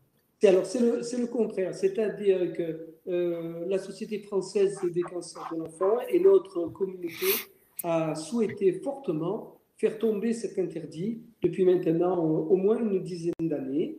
Et euh, évidemment, il peut, euh, il, peut euh, persister un interdit lié à l'état de santé de l'enfant s'il est en cours de greffe de cellules sous hématopoïétique ou, s'il est en aplasie très profonde, c'est-à-dire s'il peut recevoir personne, bien sûr, ou dans une période comme actuelle liée au Covid. Mais sinon, euh, je, pense que cet interdit est tombé dans tous les centres de cancérologie pédiatrique de France. Je peux poser une question? Vous en prie. Marie. Euh, ce qui, en fait, je réalise parce que je ne m'étais jamais posé la question. Moi, j'ai eu le droit de l'avoir parce que j'étais majeure? J'ai le droit d'être avec elle parce que j'étais majeure à l'époque? C'était il y a combien de temps? 19 ans. Peut-être. Oh bah quelle chance. Et ça, ça, ça, pour le coup, ça, ça a changé maintenant dans, dans, les recommandations. Que- question pour, euh, pour Julien. La sœur de notre fille avait six mois. C'est Loïc qui nous pose la question. Lorsque nous avons découvert sa maladie de façon totalement innée, elle s'effaçait à chaque fois que la situation se compliquait pour sa sœur. Bien que petite, est-ce que euh, cela peut ressortir dix ans plus tard? Et comment accompagner cette situation? Euh, oui, alors effectivement, on a été confronté à, à ça. C'est quand, quand les, les événements ont lieu dans la petite enfance. Effectivement, c'est très compliqué parce qu'il n'y a pas, on pourrait dire, il n'y a pas de matériel de base à travailler. Donc, euh, c'est un travail assez long, euh, assez progressif, comme euh, couche après couche. Euh, de temps en temps, euh, proposer à l'enfant d'en parler un peu, de, de raconter, de poser ses questions. Et ça peut être un travail qui se fait vraiment sur le long cours pour que l'enfant se, se construise cette histoire à laquelle il a eu, il a assisté sans tout à fait en avoir conscience. Donc c'est un travail euh, un petit peu long qui peut et il peut y avoir aussi effectivement des, des symptômes chez l'enfant liés au fait de ne pas de sentir qu'il a vécu des choses mais qu'il ne les comprend pas, Et des, des tensions à l'intérieur de lui qu'il faut essayer d'éclaircir. Et donc, un, un accompagnement et une consultation avec un Oui, ou même oui, d'abord un travail au sein de la famille, hein, une discussion au sein de la famille, et puis parfois effectivement présence euh, d'un un psy peut un peu accompagner euh, ce travail-là au sein de la famille. Ça peut être des, des rendez-vous familiaux ponctuels. Del- Delphine nous pose la question en tant que parent, quelle attitude adopter face à ses autres enfants alors qu'on est soi-même anéanti et épuisé? Pardon, c'est Myriam qui pose la question. Julie ou Julien? J'ai pas entendu le début de la question, je suis désolé, ça a En tant que parent, quelle attitude adopter? Mais en tant que euh, personne non malade d'ailleurs, quelle attitude adopter face à ses autres enfants alors qu'on est soi-même anéanti et épuisé? Comment on trouve l'énergie? Comment on trouve les mots? Bah, on fait ce qu'on peut. On fait ce qu'on peut. Il faut se dire surtout qu'on fait ce qu'on peut. Et ne pas culpabiliser parce qu'on pense qu'il faudrait faire plus. Ça, c'est très important parce que dès que la culpabilité rentre, en jeu, euh, elle interfère dans les, liens. Et on peut tout à fait dire à son enfant, bah, écoute, ça doit être, on vit tous quelque chose de, très difficile. Et des fois, juste dire cette phrase-là, c'est un moment de partage qui soulage énormément les enfants et les rassure. Ju- Julie, c'est quelque chose qui ressort dans votre corps, cette culpabilité? Euh, oui, oui, c'est des choses, euh, c'est des choses que l'on euh, que l'on voit. Ce qui ressort beaucoup, c'est dans le, les questionnaires que l'on propose de remplir à l'issue des consultations aux patients, euh, que certains expriment justement ce, besoin de faire une place à la fratrie, même dans l'après-cancer euh, justement, et que spontanément euh, certains patients le mentionnent. Et dans le, programme de recherche concernant la fratrie que je que je coordonne, on, observe que c'est pour énormément de familles un, programme qui est très bien reçu parce que justement ils nous font ce retour de, c'est important de s'intéresser aussi, euh, de leur donner la parole en fait même euh, même à distance et, euh, et on, a on a beaucoup de familles qui qui rajoutent des, messages libres voilà à la participation qu'ils font à ce à ce projet pour en souligner l'importance pour exprimer des émotions qui sont très différentes, mais qui permettent de donner la parole à la fratrie. On, on voit bien que la parole est importante et donc du coup, le, un moyen de, de libérer cette parole ou, ou de parler, bah, c'est les consultations de psychologues, de psychiatres. Bref, c'est du temps euh, humain. C'est, euh, est-ce qu'il y, a- il y a ce qu'il faut dans les services? Est-ce que euh, euh, où il y a un vrai problème justement de, de, de, de temps, j'ai dire médical ou, ou de, de psychologue? Julien ou Gérard peut-être? Je laisse la parole à Gérard d'abord. On peut toujours s'améliorer, mais euh, il est vrai que le- l'idée qu'il faut des psychologues en nombre suffisant dans les centres de cancérologie pédiatrique est une idée qui a fait son chemin. Dans le, dans le service euh, à, Ma- à Marseille, on a euh, euh, quatre psychologues pour un très grand service. Et bien sûr, si elles étaient saines, ce serait encore mieux. Mais elles peuvent tout de même voir des patients, s'en occuper, les suivre et interagir avec nous aussi pour, pour nous dire euh, celui-là euh, nous a parlé de ça, est-ce que vous pouvez euh, faire quelque chose? Donc, bon, après, on peut toujours penser que ça serait mieux qu'on soit plus nombreux, mais en tout cas, le- le- les choses sont lancées et, et, on, en est, on en est très heureux. Alors c'est vrai que c'est par contre pour l'après c'est très différent parce que déjà euh, dans l'après c'est quand même compliqué de revenir à l'hôpital. Hein, ça peut être un, on n'a pas forcément envie. Et c'est vrai qu'il y a l'après donc finalement il n'y a que euh, bah, les, les psys en ville ou euh, les centres médico-psychologiques Mmh. qui, n'ont pas trop l'habitude de, de, ces questions où il y a une dimension traumatique. très souvent ça, ça, ça marche pas très bien. C'est vrai que malheureusement notre unité pour l'instant un peu, il y en a une autre un peu à Bordeaux qui s'occupe beaucoup de l'après, mais c'est vrai que ça serait des unités à développer dans chaque région. Euh, allez, une petite dernière question. À quel signe faut-il être vigilant pour détecter un mal-être dans, la fratrie et notamment à long terme? Ça, c'est euh, euh, Pierre qui pose cette question. Et on, a aussi, j'avais 5 ans, Nassima qui nous dit J'avais 5 ans lorsqu'on m'a diagnostiqué ma leucémie. Aujourd'hui, 24 ans après, je ressens et je vois son sentiment d'abandon. Comment faire pour briser ce tabou et en parler? Elle avait été mise de côté, sa sœur avait trois ans, elle avait été mise de côté chez la grand-mère. Donc on voit bien que c'est du, du, du, tabou, cette parole qui ne se libère pas dans la famille. Quoi. Ça reste quelque chose qui pèse. Bon, il faut absolument qu'elle trouve un espace pour elle, pour, pour en parler, se comprendre et peut-être après trouver les outils pour, pour agir au sein de la famille. Et tandis quant à la première question, oui, les signes, ben, je dirais que presque paradoxalement, moi je m'inquiète quand il y a une absence de signes. Quand l'enfant ne montre rien, n'exprime pas, n'exprime pas son inquiétude, euh, sa tristesse, n'exprime rien, je pense que c'est là où il faut aller en disant de toute façon tout ce que tu ressens, c'est normal, que ce soit de la colère, de la culpabilité, de la honte, de la gêne ou même euh, que tu t'inquiètes parce que tu ne ressens rien, euh, c'est normal. Toute émotion peut être normale et c'est l'occasion du coup d'ouvrir un espace de parole. Oui, il y a Anne qui dit l'accent dans ces discussions est porté sur les leucémies pédiatriques, quid de la fratrie dans les leucémies chez l'adulte? Et c'est vrai que Marie Laurette, elle était déjà adulte, toi tu étais déjà adulte euh, oui. aussi, et, et, on reste frères et sœurs à vie. Donc euh, je pense que c'est effectivement pas que chez, pas que en, en pédiatrie. Euh, beaucoup d'intérêt, hein, Raphaël qui dit cet intérêt est important, même si de mon côté je ne voulais pas qu'on me demande comment comment j'allais. Il y a beaucoup de gens, et ça c'est plutôt pour Julie, qui disent quand est-ce que les résultats sont accessibles de cette cohorte Léa, et est-ce que l'association Laurette Fugain les mettra à disposition J'imagine que oui.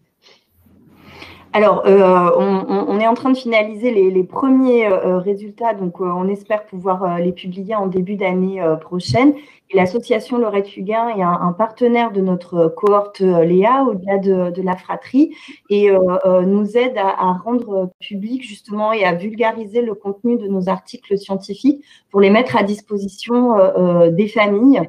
Donc, bien sûr que les résultats qui concernent la fratrie aussi pourront pourront être euh, diffusés euh, à, l'ensemble des, familles. Très bien. Marie, est-ce que euh, tu, veux avoir le, le, mot de la fin avant qu'on passe à la, deuxième discussion? Je sais pas, un conseil, un message aux frères et sœurs euh, bah de, de, toujours, euh, de toujours y croire, de se dire qu'ils euh, ne sont pas seuls. Euh, moi, j'ai souvent dit aux gens, si vous avez besoin de m'écrire, enfin, je veux dire, je me, moi, je me portais volontaire pour aider et accompagner les gens, euh, que je prends le temps qu'il faut parce que je sais que c'est important, parce que moi, j'avais, j'ai, eu ce besoin-là, j'ai eu besoin de trouver ma place. J'ai pas spécialement ressenti de culpabilité parce que j'en voulais plus à la vie qu'à que le fait de que ce soit pas moi qui soit, qui soit malade. Mais, euh, mais je, s'il y a quoi que ce soit, moi je suis disponible et je peux, je peux discuter avec les frères et sœurs qui ont besoin, qui ont. Je sais que ça prend un peu de temps avant, mais euh, quand ils sont prêts, euh, ils peuvent. euh, voilà, je suis sur Insta, Facebook, machin. Je, je... Moi, c'est important pour moi de d'aider. Euh, voilà, parce qu'on se sent un peu seul, effectivement. C'est un château qui s'écroule on parlait de la parole, qui euh, des espaces de parole, ben voilà, tu, tu proposes de, de, pouvoir ouais. en parler aussi. Mais merci à tous pour cette table ronde. Pardon, il faut aller un, un peu vite, c'est passionnant. On aurait pu euh, en parler euh, et je vois vos questions qui arrivent. On essaiera aussi de raccrocher certaines questions avec d'autres discussions. On va passer maintenant à, à la prochaine grande discussion qui a pour thème l'hospitalisation à domicile. Alors là, parlait de la fratrie de l'hôpital, ben la fratrie, elle est à la maison et l'hospitalisation, elle se passe de plus en plus à la maison. Et j'allais dire que c'est une bonne nouvelle pour les patients euh, traités, mais il y a des euh, solutions à adapter, il y a d'autres euh, enjeux justement et on va échanger avec nos intervenants euh, sur euh, cette deuxième grande discussion sur l'hospitalisation à domicile avec euh, plusieurs intervenants, l'équipe de Necker autour du professeur Olivier Hermine et avec l'équipe paramédicale avec les cadres de santé de Necker et puis de l'hospitalisation à domicile, une collègue infirmière. on aura Jérémy Nebert de la société Instamed, vous allez voir, c'est un outil, une espèce de dossier partagé qui permet justement d'améliorer, de fluidifier, de garder le, le lien. Euh, docteur Touati, qui est hématologue dans le Limousin, hématologue euh, non pas pédiatrique, on disait qu'on parlait beaucoup de discussions pédiatriques, mais il hématologue adulte et euh, il va nous rejoindre. Et docteur Julie Roupré-Serzec, qui est pharmacienne et qui a mis en place à Robert Debré une consultation justement de, préparation de sortie du patient et de retour à domicile, consultation pharmaceutique. Voilà, on va passer à cette deuxième discussion. Vous ne bougez pas, je pense que techniquement, on a besoin de quelques secondes et on se retrouve.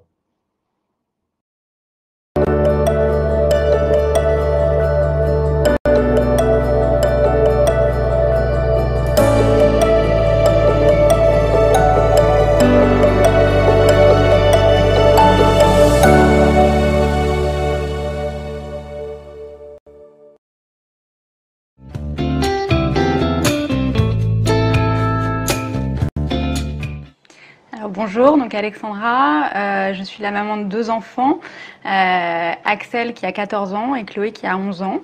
Et il y a un an, le 10 octobre 2010, euh, Chloé avait 10 ans et on a appris qu'elle avait une leucémie. La première hospitalisation de Chloé a duré deux mois avec une chimio intensive.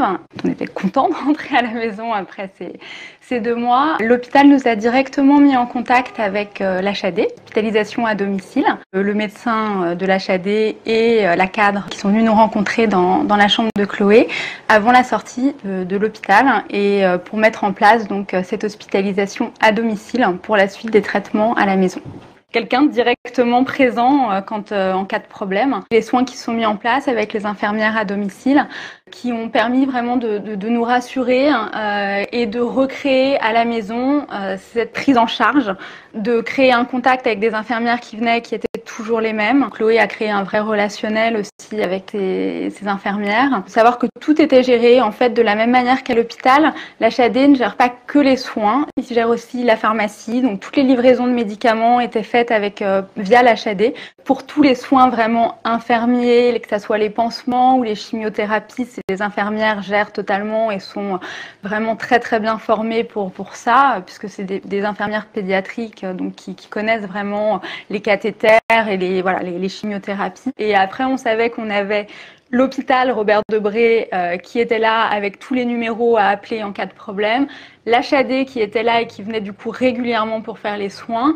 On était vraiment bien entourés. Chloé a dû, euh, a dû avoir des, euh, des, traitements 7 jours sur 7, 2 à 3 heures par semaine, notamment cet été, donc, euh, où on a connu pratiquement toutes les infirmières, parce que le, dimanche et les vacances scolaires, donc on a connu un peu toute l'équipe. Mais du coup, elles, elles, ne font que ça, c'est pas des infirmières qui travaillent à l'hôpital. Difficulté qu'on a rencontrée cet, cet été, Chloé a eu des virus hein, qui ont nécessité pendant deux mois un traitement qui devait passer 7 jours sur 7, 2 heures par jour, 2, 3 2-3 heures par jour. Donc c'était très lourd.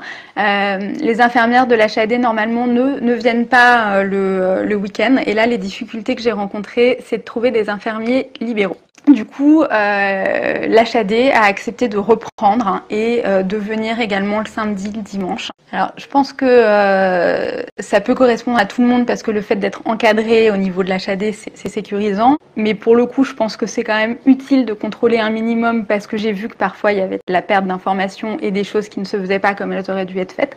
Donc, c'est bien de vérifier ce qu'on peut avec nos connaissances et voilà, et, de pas hésiter à poser des questions. L'expérience qu'on a eue avec avec la HAD à la maison avec Chloé a été vraiment une, très bonne expérience, euh, que ce soit au niveau euh, médical, au niveau de la confiance qui s'est instaurée. J'étais vraiment rassurée de cette prise en charge.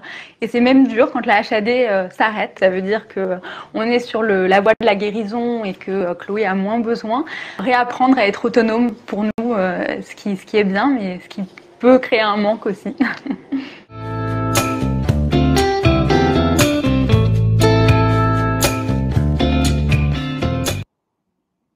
Alors, on y reviendra sur, sur l'HAD, puisqu'on a l'équipe euh, de l'HAD, justement, on a l'équipe de Necker, on a quelqu'un de, Robert Debré aussi euh, pour la prise en charge plutôt orientée pédiatrie. Mais je vais tout de suite passer la parole au docteur Mohamed Touati, qui est euh, hématologue adulte, on parlera de la pédiatrie après, qui n'est pas à Paris, on parle beaucoup de Necker, de Robert Debré, mais tu es dans, le, Limousin. Explique-nous un peu comment, bah, comment en zone plus rurale, sur un territoire plus étendu, ben, tu, as mis en place aussi en réseau cette hospitalisation euh, à domicile. Bonjour Mohamed.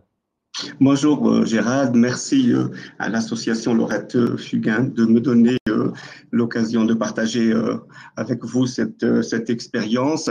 Et puis merci aussi pour tout ce que cette association fait pour, nos malades et, et, leur, leur famille. Euh, notre expérience a débuté en, 2009 déjà, ça fait plus de, de, ans.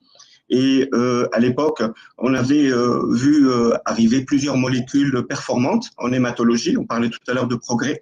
Et ces molécules, effectivement, avaient un intérêt important pour la prise en charge de nos patients atteints de pathologies malignes comme les leucémies aiguës, comme, comme les myélomes multiples, les, les myélodysplasies.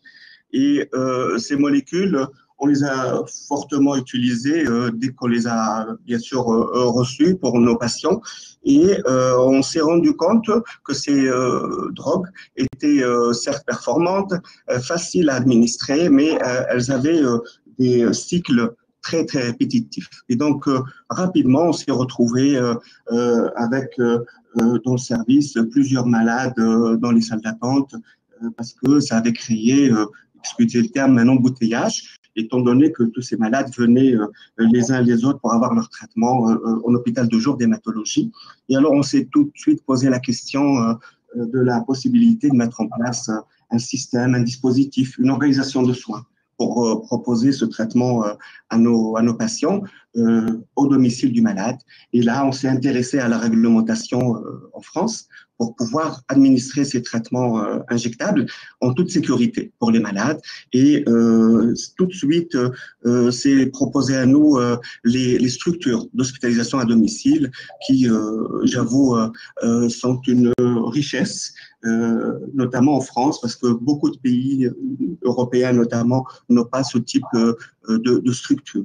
Et donc, euh, on a euh, rassemblé un comité de, de, de, pilotage et euh, ce comité de pilotage a permis d'élaborer, d'écrire des procédures bien uniformisées à travers notre territoire, qui à l'époque c'était la région Limousin et qui maintenant correspond à une partie de la région Nouvelle-Aquitaine.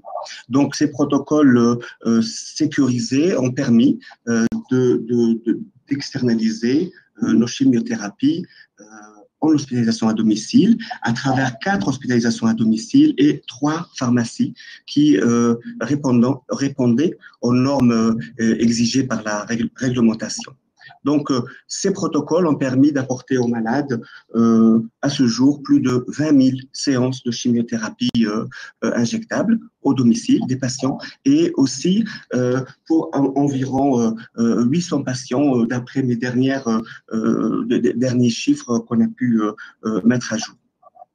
Deux, questions. La, première, c'est que euh, les réseaux dont tu nous parles font appel, et je rebondis ce que je disais à la maman de, Théo, Alexandra, dans la petite vidéo, où c'était compliqué le week-end avec les infirmières libérales. Là, dans ces réseaux, c'est 4 HAD. C'est pas 4 HAD que de l'hôpital, c'est aussi pharmacie, euh, infirmière libérale, j'imagine. Ça, c'est la première question. Donc, on peut faire travailler public et, privé ensemble. Et la deuxième question, et, je rebondis sur ce que nous dit Loïc là dans en question dans la sortie des soins, qui est la meilleure des nouvelles, est toujours très anxiogène et euh, étions peu préparés en tant qu'accompagnants, en effet. Comment vous préparez justement cette sortie? Est-ce qu'il y a un outil, par exemple, qui permet de garder le lien quand les patients ne sont plus à l'hôpital?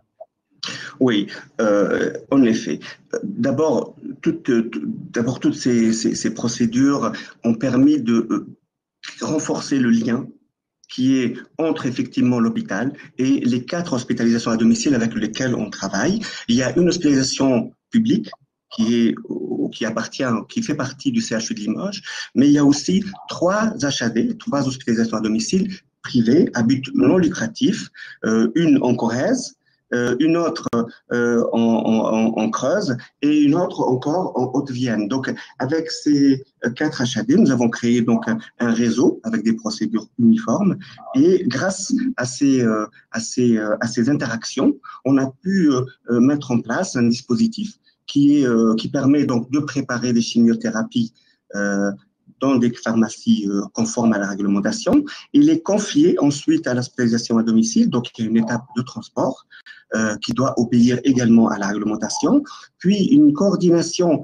euh, au domicile du patient pour que l'infirmière, soit du CHU de Limoges, soit l'infirmière libérale, vienne, vienne dans, le domicile du patient pour administrer de façon sécurisée ces traitements. Et ensuite, il y a même une étape importante qui est la récupération des déchets. Euh, de ces traitements pour la protection de, l'environnement et éviter que les, personnes qui manipulent euh, ces, produits ne soient euh, intoxiquées. Donc, cette, ce, dispositif fonctionne effectivement entre les médecins, les pharmaciens, les infirmières de l'hôpital et de la ville. Et jusqu'à ces dernières années, il, il reposait beaucoup sur les, les, les, mails, les courriers, le fax, le téléphone, selon des, procédures identifiées et déterminées. Et depuis euh, donc euh, l'arrivée euh, de ces outils qui permettent de communiquer, nous les avons bien évidemment intégrés dans notre fonctionnement et, surtout avec la période du, confinement qui, comme vous savez, a a, permis ou a provoqué un boom au niveau de l'utilisation de, de, ces nouvelles technologies de communication.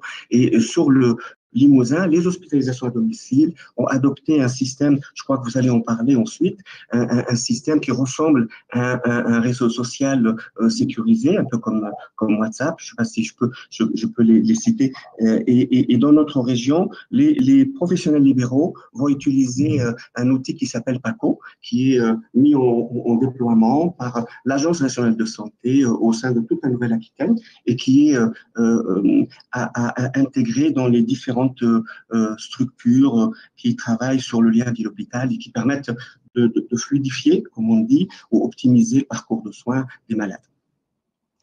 Merci, euh, merci Mohamed. Je, vais passer la, parole à, Julie Roupret, qui est, j'espère, avec nous, qui est pharmacienne et qui justement prépare, ah, voilà, qui prépare cette sortie. Alors, il y a beaucoup de questions, on y reviendra, mais c'est vrai qu'il y a un côté un peu anxiogène, c'est vrai qu'il y a le cocon un peu de l'hôpital, on se sent en sécurité, les malades, l'entourage, ils disent quand on sort, ben, c'est un peu le grand saut, et pour éviter que ça soit un grand saut dans le vide, justement, toi, tu as mis en place une consultation, c'est ça, de, préparation à, la sortie. Oui, tout à fait. Alors bonjour à tous, je vous remercie de m'avoir invité. Donc euh, effectivement, je suis pharmacien clinicien dans le service d'hématologie pédiatrique du professeur André Baruchel à, l'hôpital Robert Debré à Paris. Et euh, comme on, l'a précisé, dans le parcours des patients, il y a des points de transition qui sont des points de rupture qu'il faut sécuriser, et notamment le moment du retour à domicile, qui, euh, comme tu le disais, est extrêmement anxiogène pour les familles. C'est souvent une bonne nouvelle de rentrer à la maison, mais là, on se retrouve un peu seul. Et donc, euh, dans ce contexte, on peut compter sur deux partenaires privilégiés pour la dispensation des médicaments en ville, qui est vraiment notre sujet de pharmacien en tout cas, soit le pharmacien d'officine, soit les équipes d'HAD qui prennent le relais. Donc notre objectif de pharmacien hospitalier est d'accompagner et de sécuriser la prise en charge et la prise médicamenteuse pardon, au domicile, car on sait qu'il est parfois difficile pour les parents d'administrer des médicaments à leurs enfants, soit parce qu'ils sont très petits, ces enfants, soit parce que les médicaments ont mauvais goût, soit parce que leur forme n'est pas adaptée à la pédiatrie, etc., etc. Donc sécuriser, ça se fait notamment en facilitant la continuité en créant le lien ville-hôpital et en transmettant toute cette information utile aux partenaires de ville comme l'HAD. Donc concrètement, avant la sortie dans le service, nous avons mis en place cette consultation euh, de retour à domicile, mais plus en amont, on va aider les équipes médicales à la prescription pour que les ordonnances soient conformes aux contraintes et aux disponibilités des médicaments en ville, qui ne sont pas forcément les mêmes qu'à l'hôpital, mais aussi pour que les formes des médicaments soient adaptées aux difficultés des enfants que nous suivons. Par exemple, si l'enfant ne peut pas avaler les comprimés, on ne souhaite pas que les parents écrasent des comprimés de chimiothérapie dans la cuisine sur un coin de table. Donc, nous proposons de faire fabriquer des gélules pour pouvoir les ouvrir et diluer la poudre dans l'eau, ou même de préparer une forme buvable. Les familles et les patients euh, sont également des partenaires et nous allons co-construire ensemble, c'est-à-dire par exemple au cours de la consultation donc pharmaceutique de retour à domicile, nous allons expliquer l'ensemble des médicaments de l'ordonnance à la famille, mais avec une posture éducative, en partant de ce qu'ils ont compris avec leurs mots à eux pour ajuster nos explications. Et nous élaborons ensemble un plan de prise médicamenteux avec des horaires de prise des médicaments qui sont adaptés à leur mode de vie. Donc évidemment, il y a tout, un, questionnement aux familles pour essayer de bien comprendre comment euh, ils fonctionnent à la maison. Et le tout permet, va, va permettre de favoriser l'observance au traitement, mais aussi leur permettre d'acquérir une forme d'autonomie dont parlait Alexandra euh, dans le reportage, euh, qui est absolument nécessaire. Donc, en effet, au cours de ces consultations, ces familles, elles ont exprimé des besoins bien spécifiques d'apprentissage, et donc on a décidé de créer un programme d'éducation thérapeutique pour les aider et leur permettre d'apprendre comment, par exemple, prendre des décisions dans certaines situations quand il se retrouve seul au domicile. Par exemple, mon enfant a vomi son médicament, qu'est-ce que je dois faire? Sans euh, forcément euh, prendre une initiative qui ne serait pas la bonne ou systématiquement solliciter euh, l'hôpital qui est parfois peut-être difficile à joindre. Donc plusieurs professionnels de santé comme les infirmières, les médecins, les pharmaciens, les psychologues, les diététiciens du service animent des séances d'éducation thérapeutique, transmettent aux patients et à leurs parents des compétences et des connaissances selon leurs besoins et en retour, ces familles nous transmettent leur savoir, leur savoir expérientiel de vie avec la maladie. Et c'est vraiment un travail main dans la main. Donc ce programme s'appelle Étoile et l'association Lorette Fugain est notre partenaire et je l'en remercie. Ça reste des programmes pilotes ou c'est quelque chose qui est dans les recommandations, par exemple, euh, de vos sociétés savantes, euh, ou ça reste encore, malheureusement, j'allais dire, euh, très local, pilote et pas possible pour tous les patients? Euh, on ne va pas se mentir, le, déploiement des équipes pharmaceutiques dans les, services cliniques euh, n'est pas tout à fait euh, encore vraiment très très répandu. mais réellement, la pharmacie clinique devient une spécificité en fait des, pharmaciens à l'hôpital. Donc ça a une forte tendance à se déployer et notamment grâce aux médecins aussi avec qui, qui sont nos partenaires pour nous aider à déployer ces services dans, dans les unités de soins. Les programmes d'éducation thérapeutique euh, euh, sont notamment coordonnés par des unités transversales d'éducation thérapeutique qui sont euh, pour une partie financées par les agences régionales de santé. donc clairement, ça a une forte tendance également à se déployer, notamment par le, par le soutien des patients et des familles qui le demandent et le réclament. donc, donc on, peut, on peut rester optimiste. Mohamed, ça existe ce type de, consultation? Oui, je, parallèlement à l'arrivée de ces molécules performantes euh, injectables, il y a aussi beaucoup de molécules euh, euh, dites de, thérapie orale qui, qui arrivent également sur le marché et qui, heureusement pour nous, permettent de bien soigner et traiter beaucoup de maladies euh, en hématologie et en cancérologie. Et euh, effectivement, euh, le, nombre important de ces molécules nécessite la mise en place de, de, certaines organisations pour sécuriser les thérapies orales à domicile. Et grâce à nos amis pharmaciens, on a établi effectivement dans de nombreux hôpitaux, et, je pense que dans le futur, il y en aura de plus en plus, des consultations de pharmaciens qui permettent justement euh, de, faire cette éducation thérapeutique, donner des conseils aux patients pour qu'il y ait une bonne compliance, une bonne observance du traitement et puis éviter euh, euh, ce qu'on appelle la iatrogénie ou les incidents qui sont liés justement à, une mauvaise prise des médicaments. Et, je pense que les, les, les, autorités sanitaires auront tout intérêt à investir dans le futur pour, cette, pour, pour la pharmacie et pour la consultation de, de, de, de conseils pharmaceutiques. Super, merci à tous les deux. On va continuer. On a quasiment tout l'hôpital Necker et toute HAD qui est avec nous, puisque merci, merci encore une fois à vous deux, puisqu'on a la chance d'avoir Martine O'Neill qui est avec nous, qui est cadre de santé à Necker, professeur Olivier Hermine, chef de service euh, d'hématologie, et euh, Olivia Samperez qui est infirmière euh, à l'HAD justement. Donc on a toute la chaîne finalement, on parlait de cette chaîne de soins entre l'hôpital et, et, la ville avec l'hospitalisation à domicile. Alors je sais pas, je crois que vous avez l'habitude évidemment de travailler ensemble au quotidien. Et puis, alors, je ne sais pas qui veut prendre la parole, peut-être Olivier, et puis après, euh, et puis après euh, Martine et, Olivia. Olivier, bonjour. Bonjour, merci de nous avoir invités aujourd'hui. Donc, on remercie l'association Lorette Fugain d'avoir pris cette initiative. Et effectivement, c'est extrêmement important le, retour euh, à, domicile. Donc, nous, on avait fait cette réflexion il y a, de nombreuses années euh, parce que à l'époque où il y avait l'annonce diagnostique d'une maladie, en fait, le patient en général est dans une sorte de, sidération euh, quand on lui dit un diagnostic qui est difficile à entendre et qu'on explique un, traitement. Donc souvent, le, le, patient il vient soit hospitalisé, soit il vient en hôpital de jour. Et aussi, il faut savoir qu'aujourd'hui, c'est de plus en plus serré. Le temps de passage d'un patient à l'hôpital est de plus en plus court et le temps à domicile est beaucoup plus long. Et, donc d'emblée, on s'était dit qu'il fallait euh, expliquer un peu aux, aux, patients ce qui se passe et surtout quand il rentre à la maison, il se retrouve confronté à sa maladie tout seul.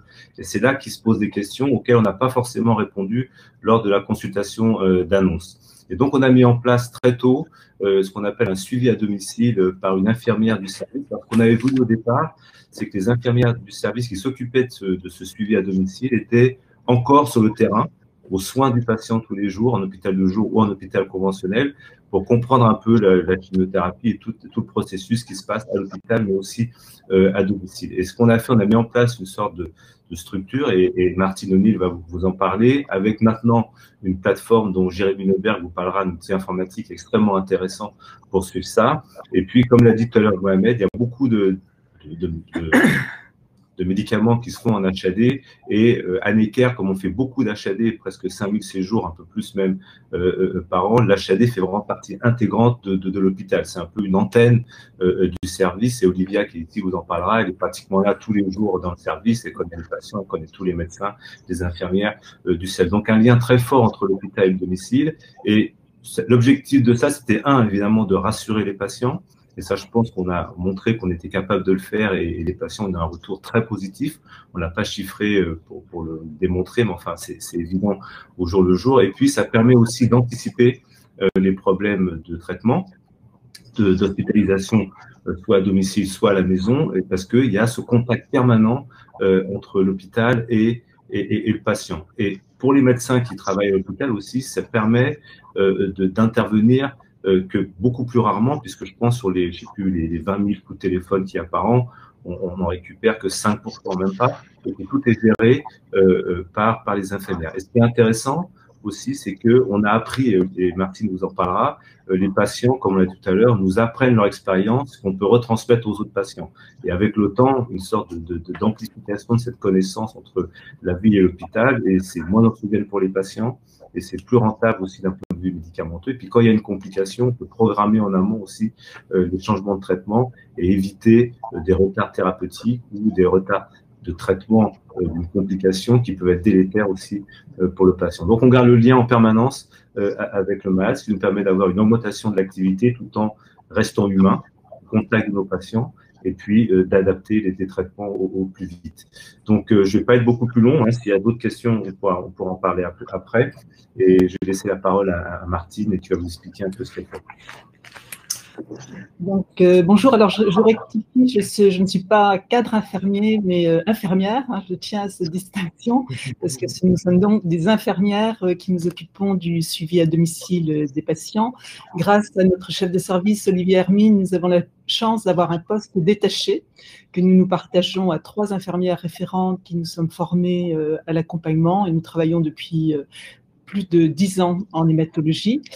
Et euh, voilà, c'est donc euh, un, poste qui se partage entre les infirmières. Donc, c'est un travail d'équipe avec toujours euh, le lien sur le terrain, puisque nous participons aussi aux soins lorsque nous ne sommes pas détachés pour, pour ce suivi. Alors, sur quoi repose ce suivi? En fait, nous sommes partis du, constat, et je crois que ça a été, on l'a senti dans les questions posées, à savoir que euh, le patient euh, traité en ambulatoire, ils sont de plus en plus nombreux, euh, vont passer très peu de temps à l'hôpital pour recevoir leur traitement, une journée, une demi-journée, et dès le premier traitement, ils vont se retrouver à domicile avec bah, quelque part tout à gérer puisqu'ils devront déjà gérer la maladie, les répercussions qu'elle entraîne dans leur vie quotidienne, leur vie familiale, mais aussi on attend d'eux euh, une participation très active à leur suivi, parce que c'est les thérapies ciblées, les chimiothérapies qui sont administrées à l'hôpital, s'accompagne aussi de traitements à prendre à la maison. Ça peut être de la chimiothérapie orale, ça peut être des traitements qui accompagnent les traitements de chimiothérapie. Euh, et donc, c'est pas simple pour le patient. Il doit connaître les modes de, prise qui sont parfois complexes. Il doit savoir connaître aussi des conduites à tenir lorsqu'il est confronté à un effet secondaire. Il doit savoir assurer son suivi biologique. Euh, il doit savoir identifier une situation d'urgence et savoir rentrer en contact avec des professionnels à l'hôpital.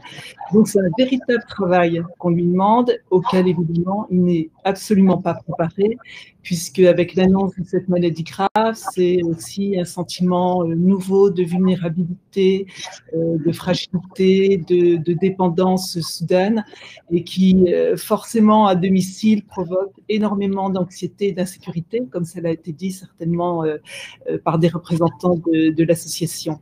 donc c'est en partant de ce constat que nous avons réfléchi sur qu'est-ce qu'on pouvait proposer comme accompagnement le plus optimal et utile aux patients.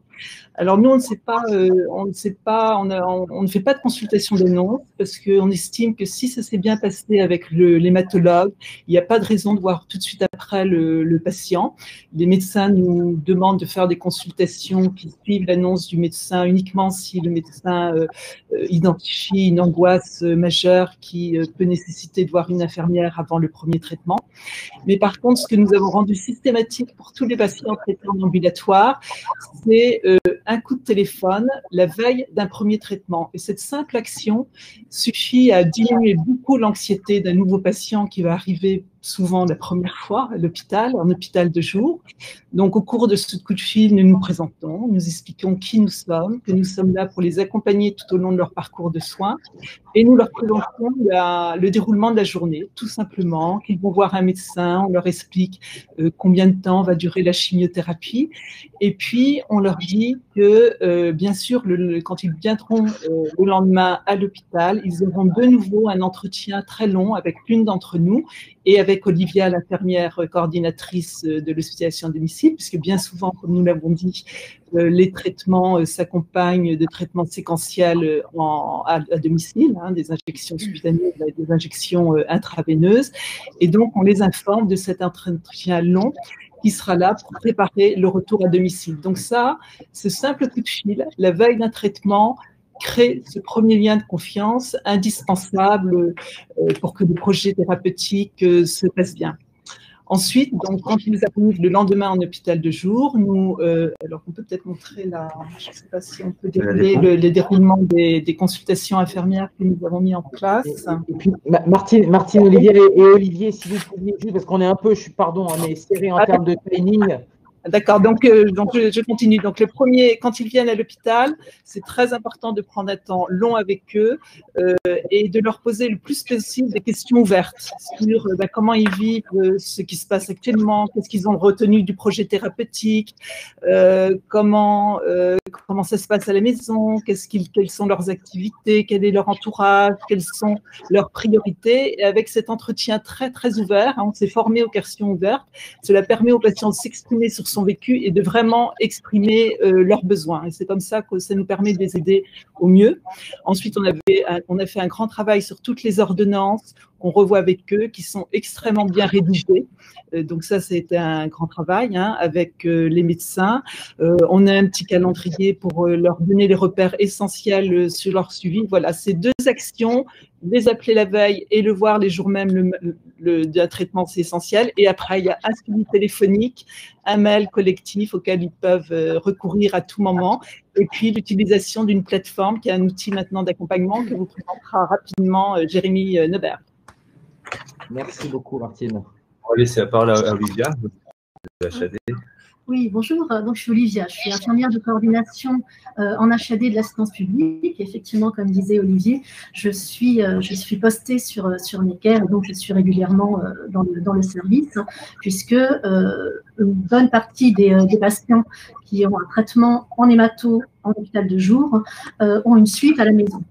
Donc, la première rencontre, quand le patient démarre un traitement, je rencontre avec l'infirmière Martine ou ses, collègues, je rencontre le patient avec l'infirmière du service, ce qui déjà met, euh, en place une relation de, confiance puisque comme ça a été, ça a été évoqué par, par d'autres, il y a effectivement la sidération de, de la maladie, l'inquiétude de commencer un traitement, et puis le fait de rentrer au domicile sans savoir réellement ce qui va être mis en place. Donc on a ce temps-là, de ce long temps de discussion où j'aborde, où je, présente l'hospitalisation à domicile, qui est donc un hôpital à part entière avec des infirmières qui interviennent 24 heures sur 24, euh, 7 jours sur 7, avec la présence aussi euh, des médecins coordonnateurs et un, euh, euh, suivi médical et par les hématologues de, Necker et aussi un regard médical via les médecins coordonnateurs de, de l'HAD. Euh, toutes les chimios que l'on fait au domicile sont centralisées. Donc, il y a aussi un regard par nos pharmaciens. Euh, et donc, tout ça est, euh, sécurisé. les, traitements, sont faits. Une fois qu'on a cette, cette, relation de confiance avec les patients, et quand la maladie, malheureusement, peut évoluer, à nouveau, je rencontre les patients pour affiner aussi le projet thérapeutique. Hein. Euh, puisque quand il s'agit de, traitement, la situation et, la prise en charge est relativement simple. Quand ça, se complexifie au domicile avec une perte d'autonomie, avec des douleurs particulières qu'on a du mal à gérer, à ce moment-là, euh, je rencontre avec l'équipe mobile de soins de support les patients en hôpital de jour. Et à ce moment-là, on peut affiner la prise en charge avec la mise en place de, de diététiciennes, un suivi psychologique par les, psychologues de l'HAD. Euh, voilà, là, on se met en place et, euh, on adapte au mieux la, prise en charge, euh, sachant qu'on a des, psychologues, des diététiciennes, des aides-soignantes pour une aide à la toilette si nécessaire, l'assistante sociale qui est aussi, qui est aussi capitale. donc voilà, au fur et à mesure de, la prise en charge, on adapte au mieux les, soins et la présence. et on intervient évidemment selon, les, selon les besoins euh, et, la difficulté rencontrée au domicile. Et merci beaucoup à tous les trois. Il y a un outil, je crois, qui s'appelle Instamed. Et je, pardon, je vais encore un petit peu vite, mais il y a beaucoup de questions et je voudrais qu'on y réponde aussi euh, juste après. Je crois qu'on a Jérémy qui est avec nous, Jérémy Devers, l'outil Instamed, qui est justement l'outil qui permet de faire le lien entre bah, l'hôpital, l'HAD, les patients. Et ce n'est pas qu'un réseau destiné aux professionnels, c'est ça? Exactement. Donc, euh, tout d'abord, merci de m'avoir convié à cette intervention. Donc nous, on a développé en partenariat, on a co-développé en partenariat avec l'équipe du professeur Hermine et euh, Martine, Corinne, euh, Sophie et Olivia, un outil qui permettait aux patients à domicile, donc en aval et en amont de, de leur euh, hospitalisation et de leur traitement, de leur permettre de suivre tout leur parcours de soins on est parti du constat que les patients étaient relativement mal informés, euh, n'avaient pas l'information nécessaire sur leur traitement, sur leur prise médicamenteuse, sur ce qu'ils devaient faire en cas de symptômes ou effets secondaires à domicile. Donc, on a réfléchi ensemble, mais aussi avec des patients, patients experts ou non, médecins, infirmières coordinatrices, infirmières référentes, comment pouvait-on bâtir un outil où centré sur les patients, mais qui réunissait l'ensemble des acteurs des parcours de soins à l'hôpital comme en ville. Donc, on a développé ça avec l'équipe et ça a eu un, certain succès, si je puis dire, car les patients euh, s'en sont tout de suite euh, emparés et ont utilisé cette plateforme où ils sont en mesure, euh, d'une part, d'avoir un dossier médical dont ils sont administrateurs, c'est-à-dire eux-mêmes en tant que patients, mais aussi leurs aidants, leurs personnes de confiance, peuvent avoir accès à leur dossier et à leurs documents. Donc, prenons l'exemple de d'un patient qui, euh, qui perd son ordonnance, il peut la retrouver directement sur la plateforme plutôt que d'avoir à, demander à l'équipe de la lui euh, fournir, d'avoir des fiches validées par les équipes soignantes pour leur traitement et ou leur maladie plutôt que de les regarder en ligne ou de trouver de l'information qui n'est pas validée. Euh, une brique téléconsultation pour la téléconsultation de suivi, une messagerie leur permettant d'échanger avec leurs médecins de l'hôpital, leurs infirmières de l'hôpital, mais aussi leurs, spécialistes de ville, et une foire aux questions qui est modérée. Donc, euh, beaucoup des questions en hématologie, mais c'est le même cas pour un certain nombre d'aires thérapeutiques, sont les mêmes d'un patient à un autre. on s'est rendu compte qu'en permettant aux patients de poser des questions de façon anonymisée et en permettant aux soignants d'y répondre, on avait une formidable base de questions-réponses validées par les soignants qui permettait de réduire l'anxiété des patients quand ils rencontraient un symptôme ou un effet secondaire. Voici ce qu'on a développé. Euh, et je remercie euh, l'équipe d'hématologie et le professeur Armin de nous avoir soutenus euh, dès le départ.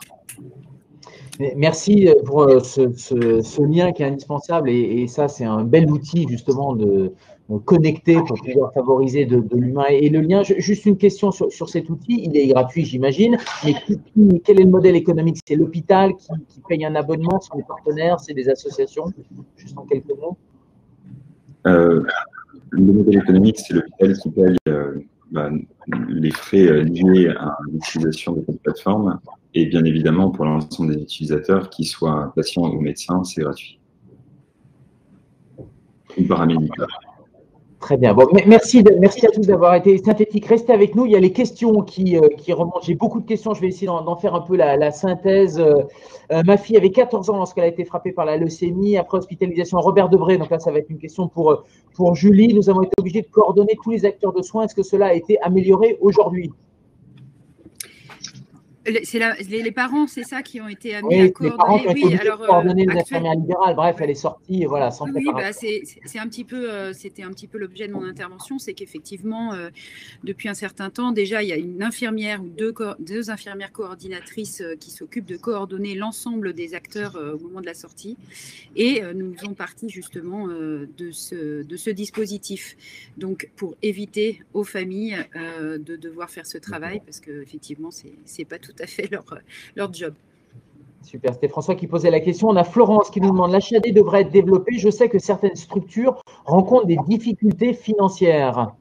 Qui, qui veut nous répondre là-dessus? Alors là, c'est l'HAD public à l'assistance publique hôpitaux de Paris. On a vu Mohamed qui nous parlait de structures euh, à but non lucratif. Mais est-ce qu'il y, a un problème dans certaines zones de pérennité de ces structures?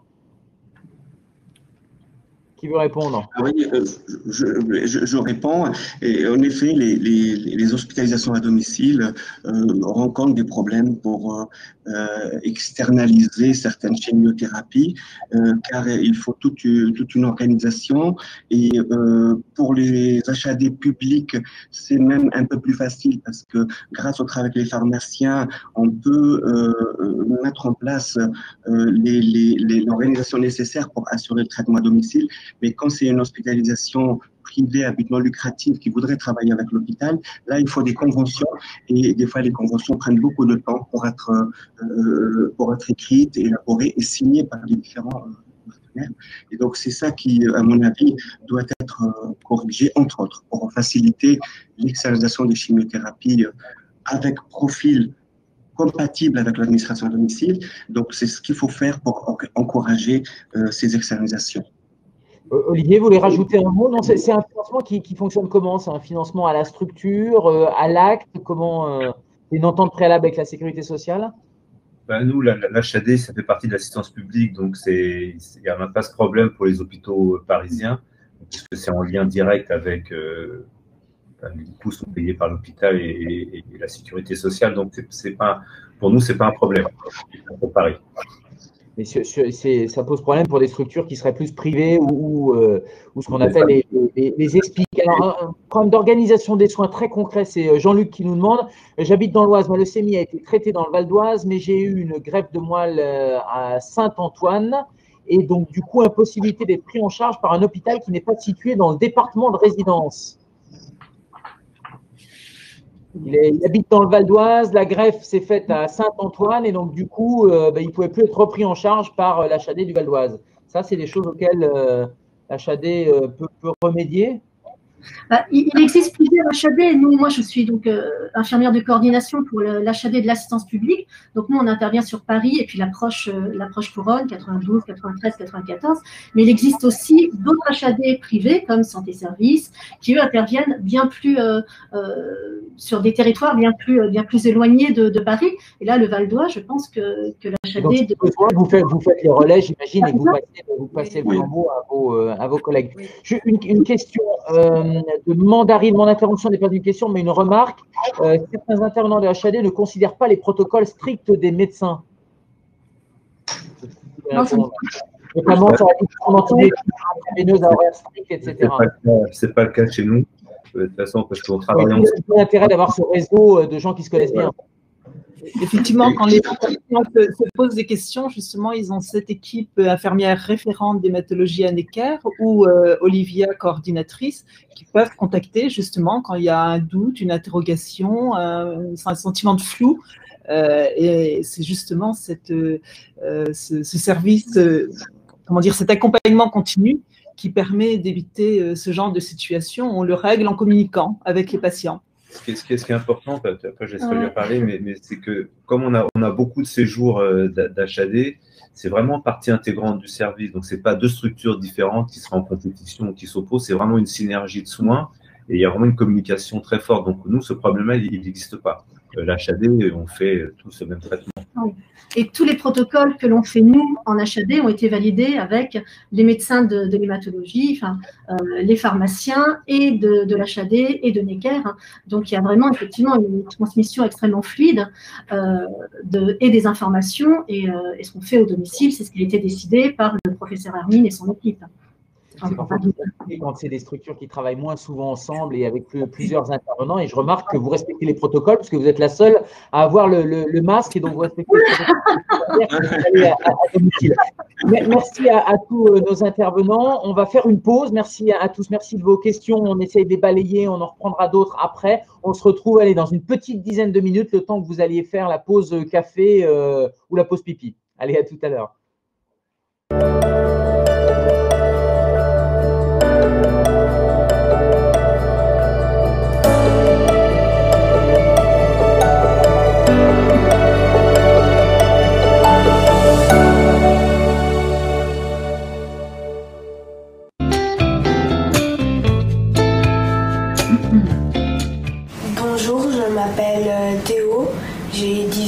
J'ai été diagnostiquée d'une leucémie chromosome Philadelphie.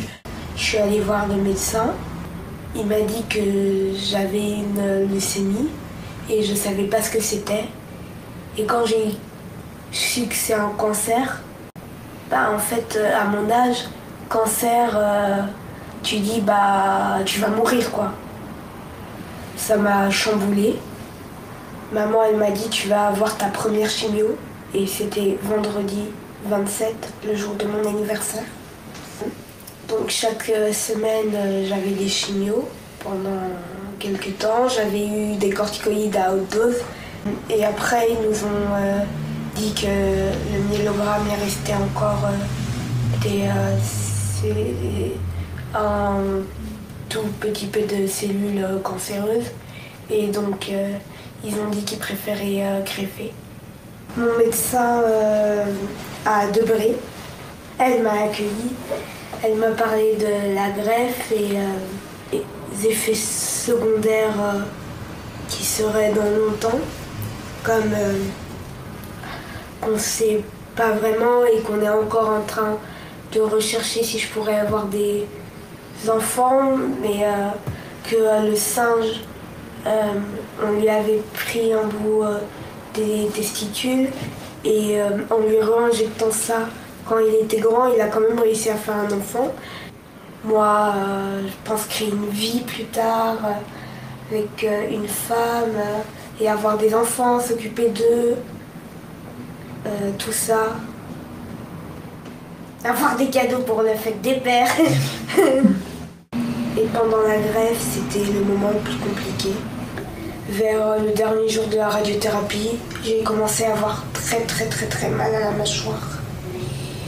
J'ai eu beaucoup, plusieurs euh, chimios avant la greffe. Après, on nous a dit que la greffe, ça allait être le 1er avril. J'ai cru que c'était un poisson d'avril. Euh, J'étais sous morphine. J'avais extrêmement mal. Donc, on m'a greffé. Et après la greffe, c'était vraiment plus dur. Parce que j'avais tous les effets secondaires de la radiothérapie tous les effets secondaires des chimios, pas ceux qui sont graves, mais les plus gênants. Après, en sortant de la greffe, j'ai eu un peu de GVH. Ça m'a faisait très mal, ça m'empêchait de marcher, mais après c'est passé petit à petit.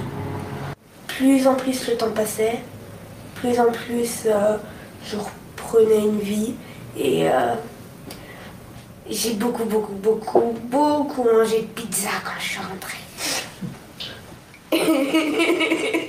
J'en prenais deux le soir. Et bah, donc là, maintenant, je reprends ma vie, je revois des copains, je reviens à l'école, je prends du chocolat chaud au conservatoire. je commence vraiment à reprendre goût à la vie. Maintenant que je vais bien, je pense que c'était un mauvais cap. Mais euh, s'il faut le faire pour... Euh, et ça m'a fait mûrir, mais s'il faut le faire pour rester en vie, bah, faut le faire.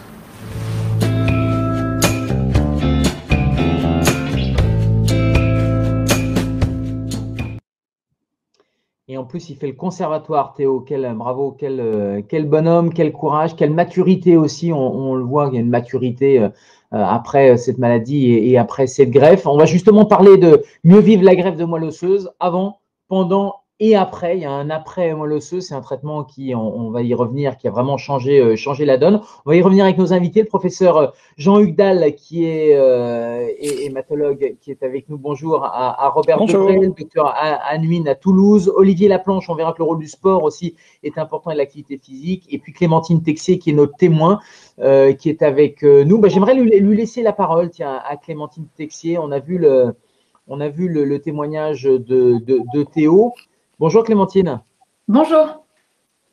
Voilà, je vous vois. Qu'est-ce que, qu'est-ce que ça vous évoque, ce, témoignage par rapport à votre propre expérience? Oh, ça m'a beaucoup touchée. Euh, j'ai eu beaucoup d'émotions en écoutant ce garçon parce que je me suis évidemment reconnue dans, ce qu'il a exprimé et euh, je, je, le comprends. Ouais, comprends vraiment ce qui, tout ce qu'il dit et je partage. Il a très bien résumé ce petit bonhomme. Et vous parliez aussi de maturité et oui, je, ça me fait grandir d'un coup. Racontez-nous à quel âge vous avez eu votre euh, diagnostic, le parcours et puis, euh, puis la greffe. Euh, je suis, on m'a diagnostiqué une leucémie lymphoblastique à l'âge de 16 ans. C'était en 2008, il y a 13 ans. Et c'est dire un pronostic pas très, pas très favorable. Donc, du coup, on m'a assez rapidement proposé la greffe de moelle osseuse. Et j'ai eu la chance d'avoir mon petit frère qui était compatible donc, euh, c'est vraiment une, énorme chance parce que euh, j'ai pu être prise en charge rapidement. Et, euh, ouais, et je suis toujours là, en vie aujourd'hui, 13 ans après. Donc, c'est merveilleux. il y a un avant, il y a un après la greffe? Oui, l'avant, c'était, bon, j'étais encore en chimiothérapie, bien sûr.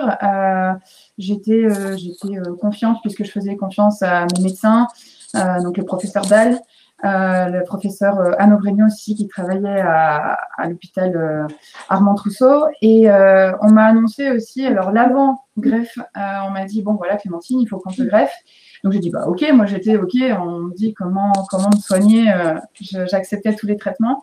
Et là, on m'a annoncé que j'avais un très très grand risque de stérilité. Donc c'est pour ça aussi que quand Théo a parlé de, il n'a pas dit le mot stérilité, mais il en parlait, Oh, ça m'a. C'était boulant. Ça m'a beaucoup touchée parce que ben, je suis aujourd'hui stérile. Donc, c'est ma grosse euh, euh la science euh, a beaucoup évolué aujourd'hui, donc euh, peut-être que j'aurai une chance d'être à nouveau fertile, donc on verra. Mais bref, et donc quand on m'a annoncé ça, j'ai pleuré pendant trois jours.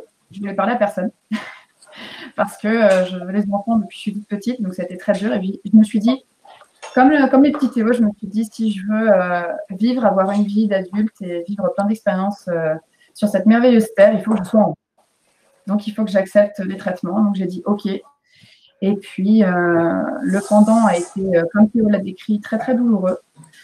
Le professeur Dahl m'avait dit Est-ce que tu as conscience, Clémentine, que ce ne sera pas une partie de plaisir? Je lui ai dit Ouais, ok. Bon, j'avais déjà vécu des choses un petit peu douloureuses, mais je te dis Oh, ça va le faire. Je suis une dure à cuire. Et puis, euh, effectivement, c'était euh, pas une partie de plaisir, mais euh, comme, comme l'a dit Théo, s'il faut le faire pour rester en vie, on le fait.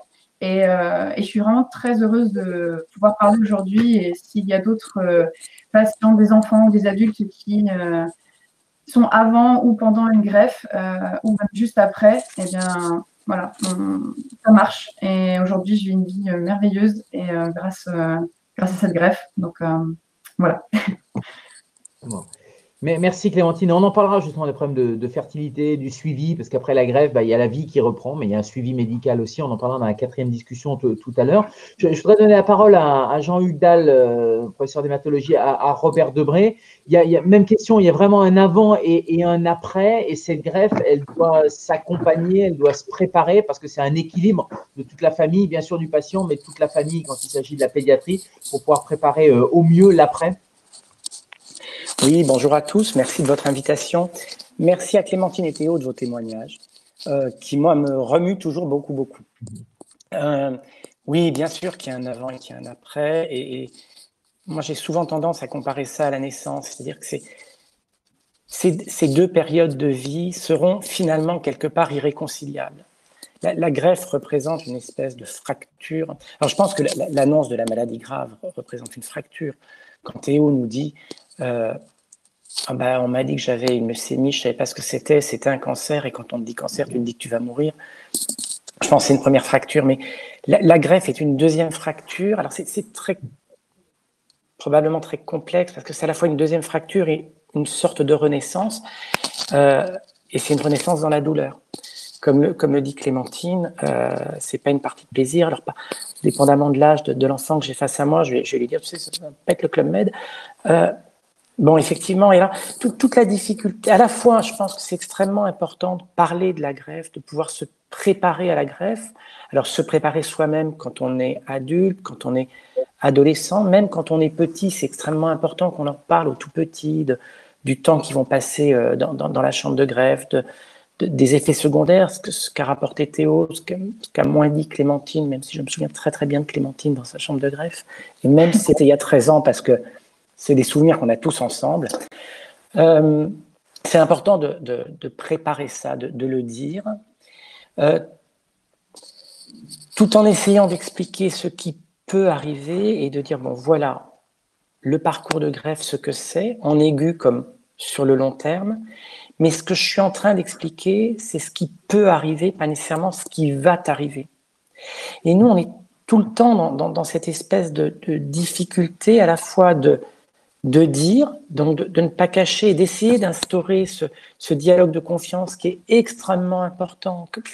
Si on raconte des, bêtises, si, on édulcore les choses, comment voulez-vous que le patient ait confiance en vous et en l'équipe? Et à la fois, effectivement, pas dresser un, tableau euh, épouvantable qui, fera que, les gens vont arriver la, la trouille au ventre. Enfin, il faut aussi essayer de les regonfler, de leur dire on va y arriver tous ensemble, on va se tenir la main. Ne sait pas. Ta greffe à toi, elle sera ce qu'elle sera. Je ne peux, pas, peux pas la prévoir parce que je n'ai pas de boule de cristal. Voilà ce que je sais de la greffe de façon globale. Et, on va essayer ensemble que ça se passe le mieux possible. Et puis quand il va y avoir des, quand il va y avoir des creux, quand il va y avoir du gros temps, ben, c'est nous, toute l'équipe médicale, paramédicale, de t'aider à passer le gros temps, de, ah, de, te dire, écoute, on, on, va y arriver quand même, on va, on va t'aider à passer les difficultés. Puis, s'il faut aller en réanimation parce que, parce que ça dérape, ben on ira en réanimation tous ensemble et, et, ça va aller. Oui, ça peut être difficile.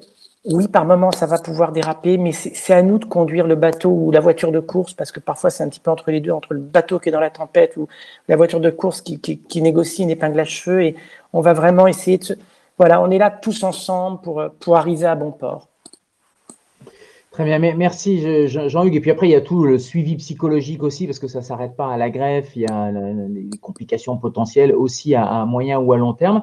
J'aimerais passer la, parole, avant de passer la parole après à, Olivier Laplanche, qui n'est pas médecin, mais qui aide justement, et ça peut être le, petit plus ou le gros plus avec l'activité physique, au, docteur Anne Huyn de Toulouse.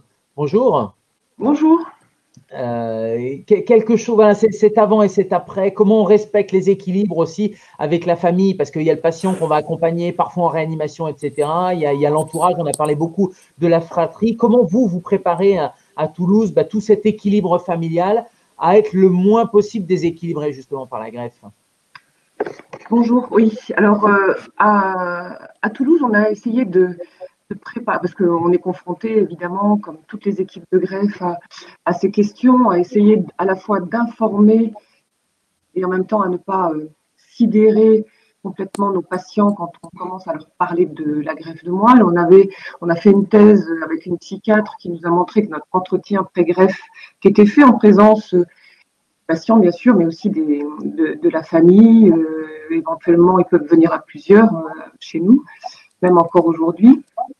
Et on s'est aperçu donc qu'il y avait comme une espèce de forme de, syndrome de stress post-traumatique qui est euh, en tout cas, après, d'après ce que nous, ont, dit cette psychiatre, à la violence des informations, à, cette nouvelle sidération qui, euh, euh, après l'annonce de la maladie, revenait au moment de l'annonce de la greffe et de cet entretien qui était censé délivrer des informations pour que le patient et sa famille puissent appréhender un petit peu tout ce qui allait se passer.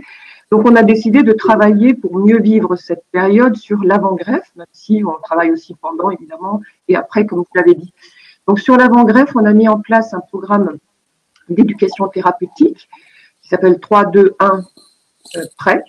Et euh, dans le cadre de cette éducation thérapeutique, c'est un programme qu'on a monté avec un, un, patient, un patient ressource, un patient expert.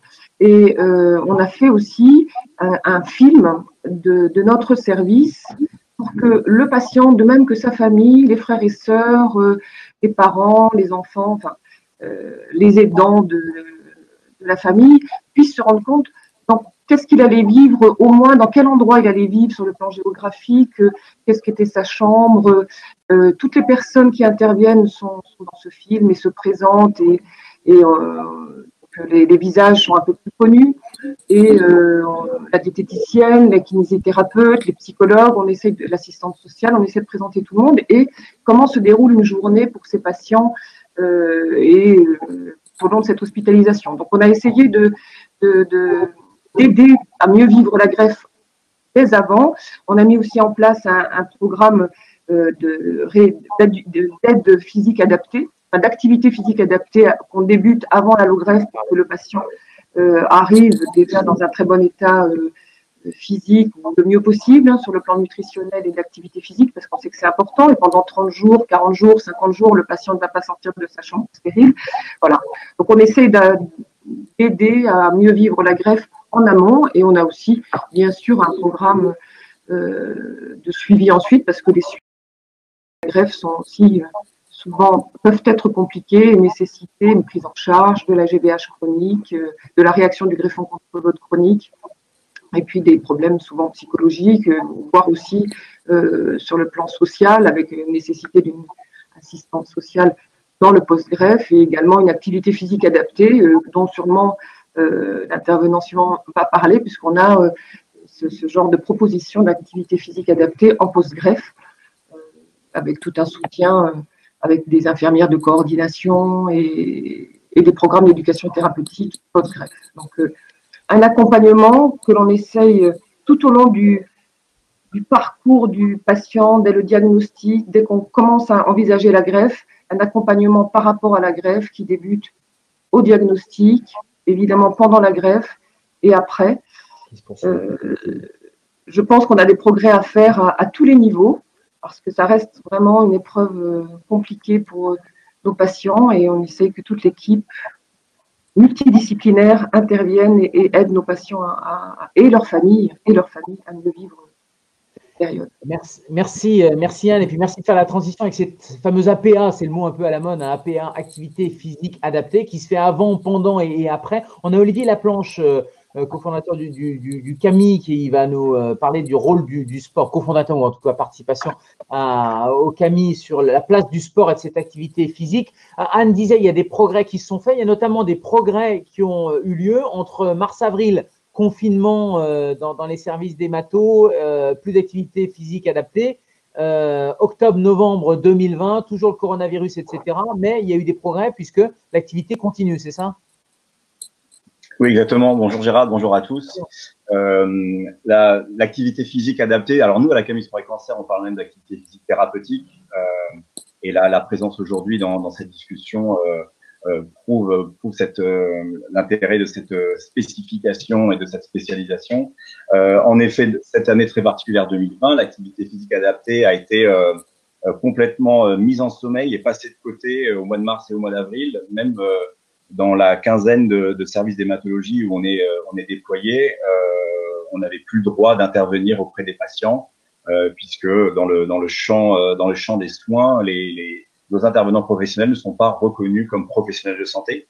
Et en effet, la grosse victoire avec un beau travail de lobbying, avec beaucoup de gens des municipalités, le ministère des Sports, pour faire euh, entendre raison au ministère de la Santé et les associations comme, euh, comme la nôtre, on a pu euh, maintenir. donc c'est le cas en effet depuis plusieurs semaines et l'activité physique thérapeutique dans les chambres, au chevet des patients, en secteur stérile ou non, en fonction des protocoles et de cette individualisation que nous proposons en fonction du moment du parcours de soins en fonction du patient lui-même, euh, que ce soit en, en hématopédiatrie, en adolescents, euh, jeunes adultes, comme en, en hématologie euh, adulte. Pour, être concret, donc vous intervenez y compris en chambre stérile Exactement, et c'est pour ça qu'au mois de mars, au mois d'avril, on était, on était vraiment déjà très triste de la situation et, stressé pour nos patients, et on, était un peu dans la compréhension. Alors évidemment, cette première vague est venue frapper les équipes de manière très forte, mais euh, ça fait 10 ans qu'on a rencontré euh, donc les deux cofondateurs. Hein. Moi, je, n'ai pas contribué à, ce, à cet élan-là, mais j'ai la chance de travailler à la Camille maintenant depuis 5 ans. Mais il y a 10 ans, euh, Stéphanie Fugain et Delphine Hoffman ont rencontré euh, la Camille Sport et Cancer avec les deux cofondateurs. Euh, et tout était parti du milieu de l'oncologie des tumeurs solides, puisque un des deux cofondateurs est lui-même radiothérapeute et oncologue. Et, il y a eu cette idée du challenge de pourquoi pas, pas faire la même chose en chambre, au chevet de nos patients, à nous, dans le secteur de l'hémato.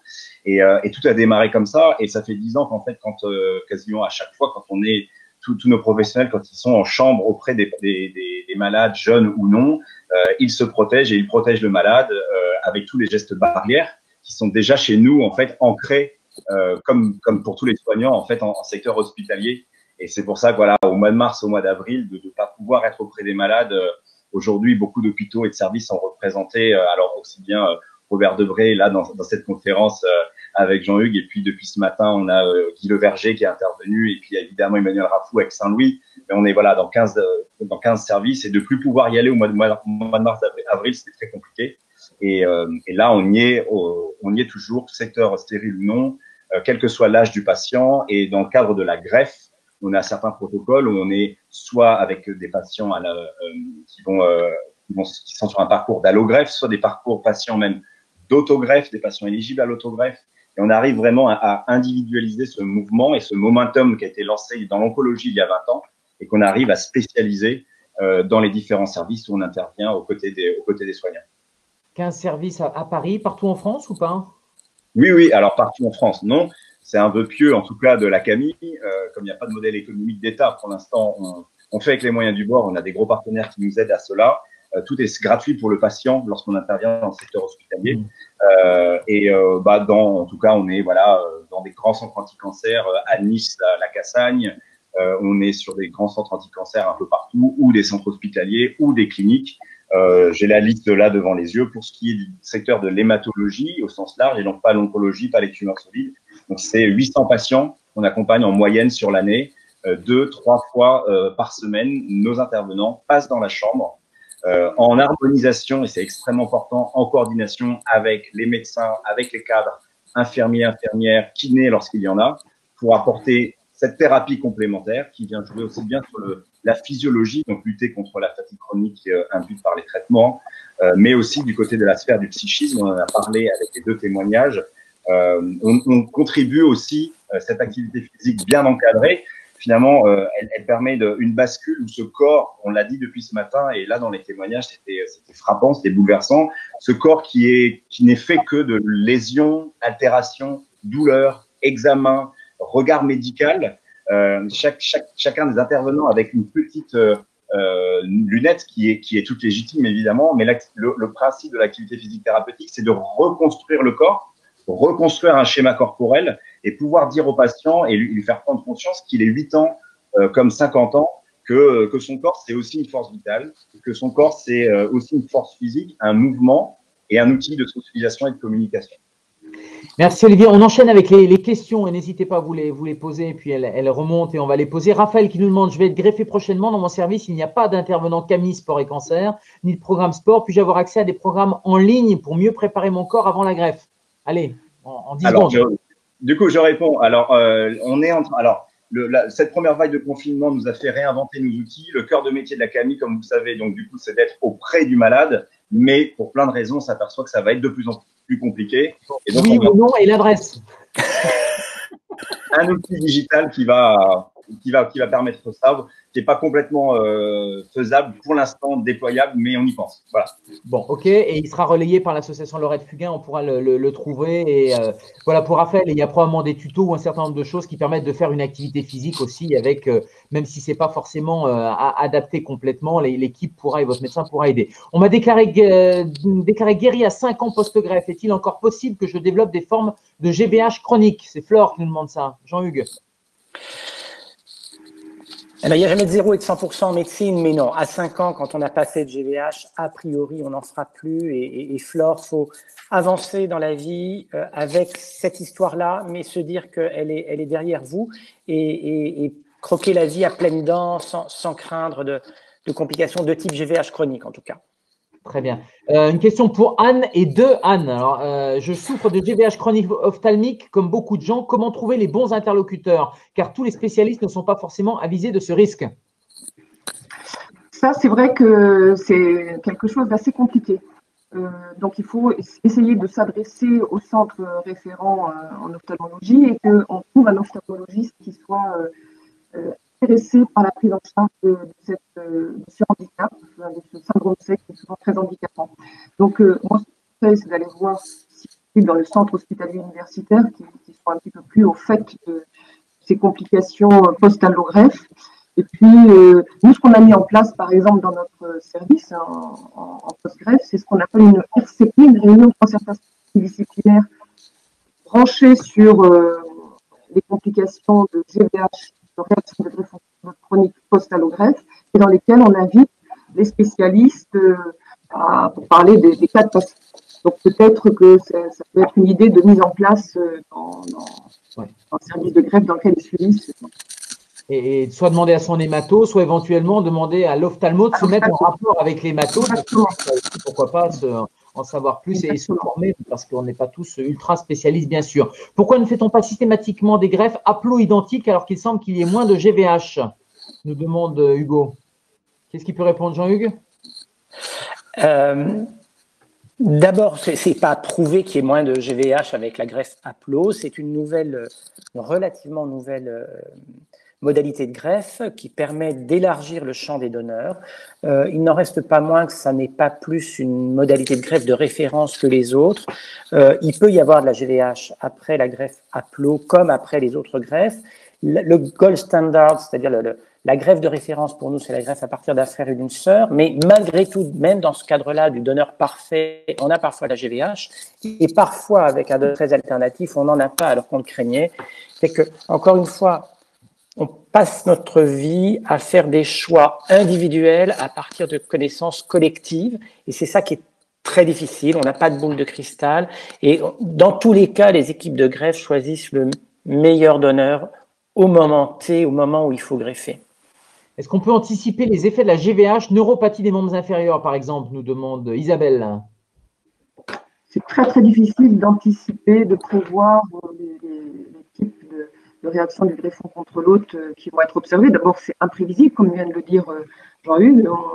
Même dans les greffes euh, géno-identiques totalement compatibles, on peut observer des GVH aigus ou chroniques absolument très handicapantes et, dramatiques. Donc, c'est impossible d'anticiper, en plus la forme neuro, neurologique dont, dont tu viens de parler. Et après, euh, surtout ces symptômes, pas hésiter à se rapprocher, bien sûr, avec son équipe des, des matos pour pouvoir ah euh, peut-être non pas les anticiper, mais en tout cas les, les, prendre en charge relativement rapidement. Juste une question sur la douleur. Euh, A-t-on les moyens d'éviter une douleur de la ponction sternale aiguë, brève mais fulgurante et techniquement possible? C'est Gilles qui a été greffé il y a 25 ans. Peut-être qu'il y a eu là aussi un certain nombre de, de, de progrès, mais il en garde un souvenir manifestement douloureux. Il y, a, il, y a, des modalités qui permettent de diminuer. C'est ça, non, ça, on, on, diminue la douleur. Euh, on ne l'annule jamais, il faut quand même être clair, à part de faire la ponction sous anesthésie générale, mais ce geste, comme il le dit, est, extrêmement rapide. Donc, c'est vrai qu'on ne fait pas d'anesthésie générale pour ça, parce que ce que nous, nous appelons la balance bénéfice-risque n'est pas en faveur d'anesthésie générale. En pédiatrie, ça peut nous arriver. Les enfants qui deviennent absolument intolérants à ce type de geste invasif, on peut parfois faire des anesthésies générales. Mais quand même, on a fait beaucoup de progrès en 25 ans, avec notamment un, gaz qu'on inhale qui est un mélange électromoléculaire d'oxygène et de, protoxyde d'azote qui permet de diminuer la douleur de la ponction osseuse. Après ça, l'aspiration. Je n'ai jamais eu de myelogramme à titre personnel. L'aspiration, c'est une sensation qui, je crois, mêle de la douleur et de l'angoisse parce que c'est quelque chose de complètement inexistant dans la vraie vie, inhabituel. Et je, crois qu'il y a une part d'angoisse terrible, ce sentiment d'aspiration qui est terrible. Et ça, on n'est pas très très bon, il faut bien le reconnaître on n'arrivera jamais à l'enlever, cette douleur-là. Mmh, mmh, mmh. Et, peut-être des techniques aussi d'auto-hypnose qui peuvent être intéressantes, oui. qui arrivent, qui arrivent dans les services de médecine, de médecine complémentaire. Bah, et je, je, je, peux que vous remercier de, de, votre intervention. Pardon, mais là aussi, on est un peu pris par le temps. Deux messages particuliers parce qu'il y a plein de questions. C'est un message et un bravo pour l'activité physique euh, adapté. Je crois qu'il y, a plein de gens là qui, euh, qui, qui, font remonter bah, que ça les a aidés, que c'est quelque chose qui est crucial, fondamental. Magali notamment qui est allogreffée à, à deux reprises, aussi bien pour le corps que pour l'esprit. Et puis beaucoup de messages pour Théo. Et voilà, je voudrais que on le, on le salue. Je sais pas s'il nous regarde, mais en tout cas, tout le monde salue sa maturité, son courage et, et en même temps sa, sa vie de, de, de, jeune garçon. Donc euh, voilà, le, mot de la fin, c'est pour, ou la pensée de la fin, c'est pour, c'est pour Théo.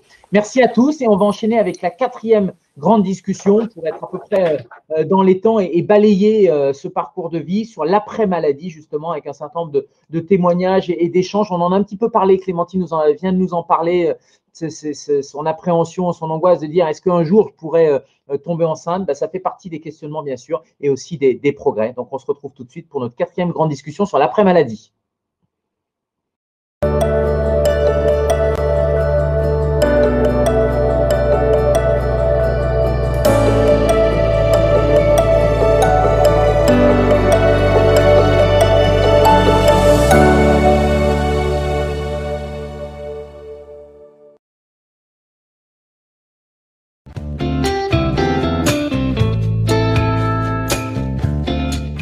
Bonjour, je m'appelle Alice, j'ai 32 ans, j'ai eu une leucémie à l'âge de 13 ans, euh, j'ai été suivie pendant 5 ans jusqu'à la guérison et après pendant 10 ans pour les effets secondaires à long terme de la chimiothérapie.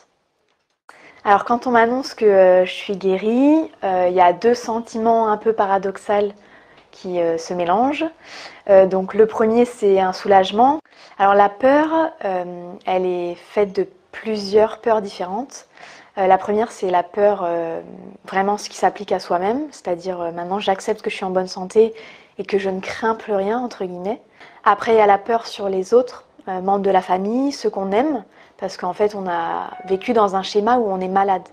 Donc on est suivi, on est malade, et il faut sortir de ce schéma-là. donc il y a la peur que quelqu'un d'autre tombe malade. Et puis il y a aussi bah, la peur de demain, euh, parce que j'étais habituée à ne pas me projeter en étant malade. Et aujourd'hui, j'arrive dans un monde où les gens se projettent. Euh, il faut que j'arrive aussi à le faire et c'est compliqué.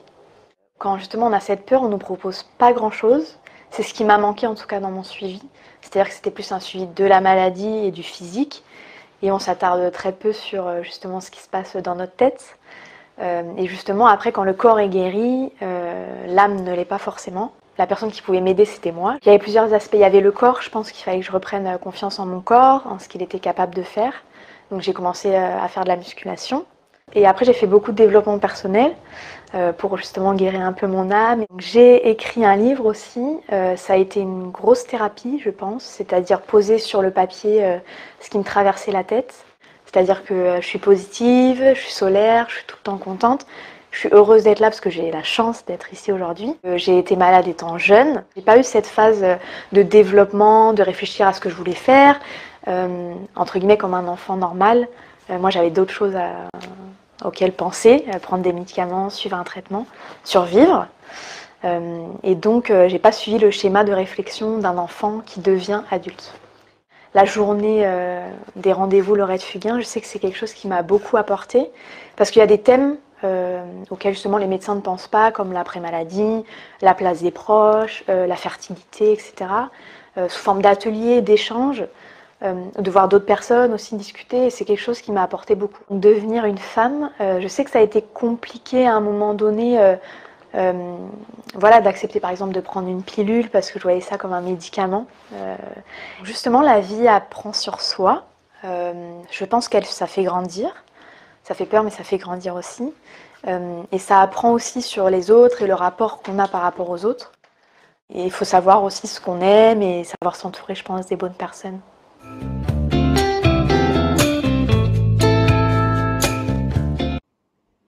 On voit beaucoup de questions euh, psychologiques, physiques aussi, beaucoup de peur. On y reviendra poser vos questions. J'ai déjà des, questions là de Caroline qui dit j'ai toujours le sentiment d'avoir une épée de Damoclès. On reviendra justement comment euh, essayer soit d'enlever cette épée de Damoclès, soit de l'éloigner un petit peu. Juste sur le livre d'Alice Gros, il s'appelle Ma résilience, mes combats contre, contre la maladie, et vous pouvez euh, le, trouver. Il est, il est disponible et c'est effectivement une épreuve, mais une, un beau témoignage sur la, sur la résilience. Alors, on va démarrer cette, euh, cette table ronde digitale, virtuelle, avec euh, un certain nombre de, témoignages. Je voudrais, si Sophie Piquant est avec nous, qui est aussi une patiente qui a été greffée euh, il y a 14 ans. Sophie, je ne sais pas si vous êtes avec. Oui, on vous voit. Bonjour Sophie. Bonjour. Vous puissiez un peu, un, peu rebondir sur cette, sur cette vie d'après. Elle est normale, cette vie d'après, ou elle est à jamais anormale ou, ou pas tout à fait normale?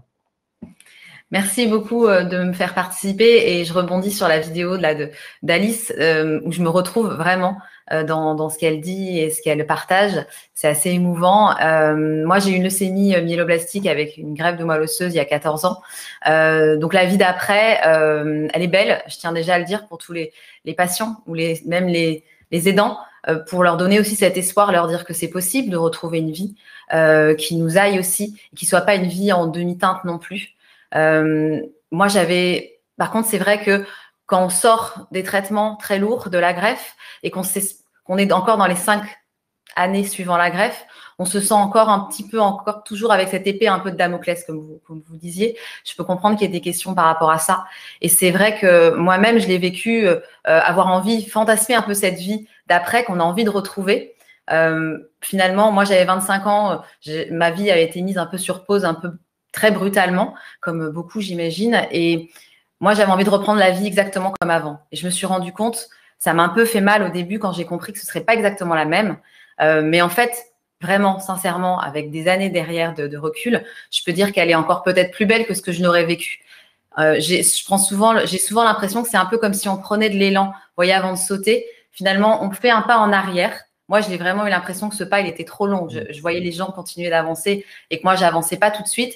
Mais en fait, j'ai vraiment l'impression maintenant que ça m'a donné de l'élan et que je suis allée plus vite, loin. Euh, je dirais pas que je, c'est pas, on se souhaite pas d'avoir cette maladie, clairement.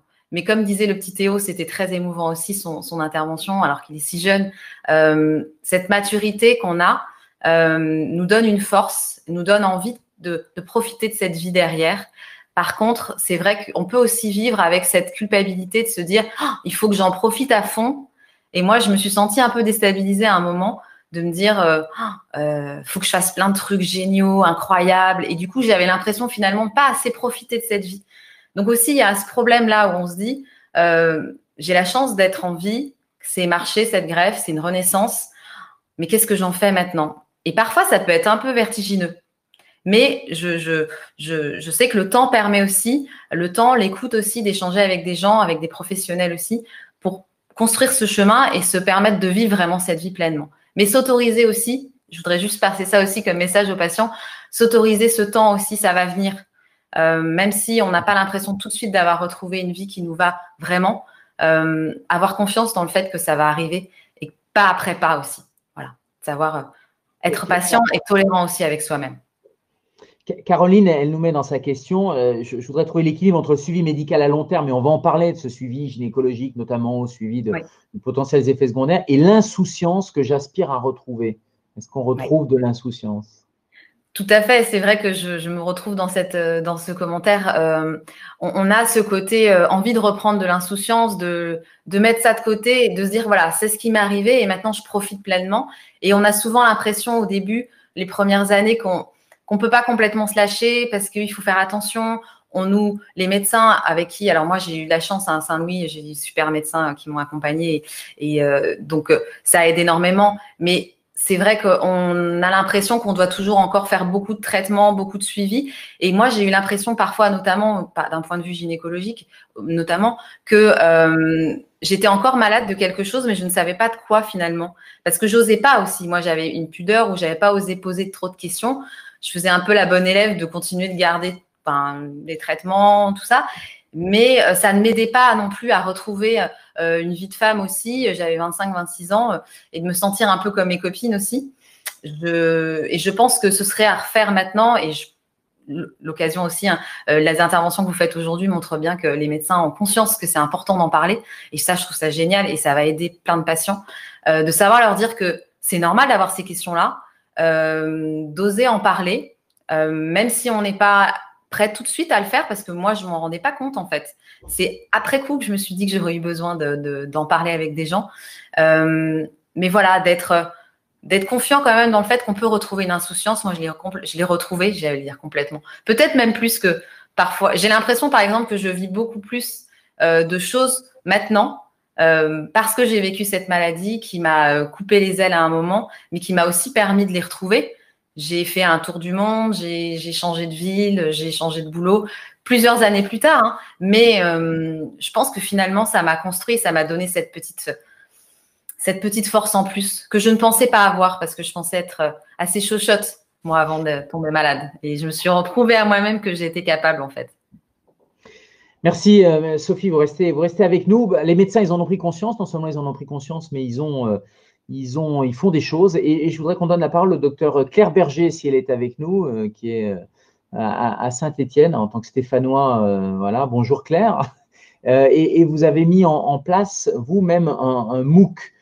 Et, vous me disiez quand on préparait cette, cette interview que on, va dire bah, vous êtes guéri voilà, à 5 ans, 10 ans, 15 ans, 20 ans, mais que bah, derrière, ça ne veut pas dire que vous allez oublier l'hôpital, oublier la surveillance médicale et que cette surveillance, elle est, euh, elle est à vie, euh, l'échographie cardiaque ou un certain nombre d'effets euh, secondaires parfois à, dépister. Je ne sais pas si, voilà, on, a Claire qui est, qui est avec nous. Est-ce que, est que tu nous entends? Oui, oui, excusez-moi, il y a une petite coupure, là, je n'ai pas compris. Non, non, pas, pas de souci. Et, Sophie nous, nous, disait, les médecins prennent conscience que bah, c'est toute cette surveillance ou toute cette parfois épée de Damoclès, etc., ça se prépare en, amont avant de dire vous êtes guéri, parce que cette surveillance, elle va durer toute la vie. Et toi, c'est ce que tu as voulu faire et expliquer justement euh, dans le cadre d'un MOOC.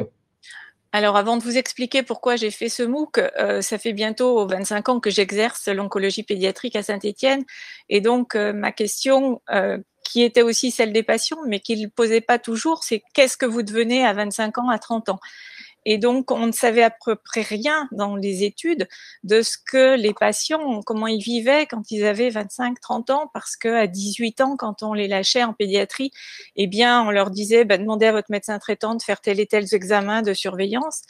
Euh, et donc, on a mis en place d'abord des consultations de suivi à long terme en collaboration avec des médecins internistes parce que les hématologues adultes n'ont pas toujours ce souhait de vouloir suivre les patients. Et puis, on s'est aperçu finalement que ce suivi, il n'était pas toujours très bien fait quand on cherchait à les revoir. Donc, on a voulu euh, mettre en place des vraies études de recherche en collaboration donc avec des médecins d'adultes, que ce soit des médecins internistes, des euh, endocrinologues.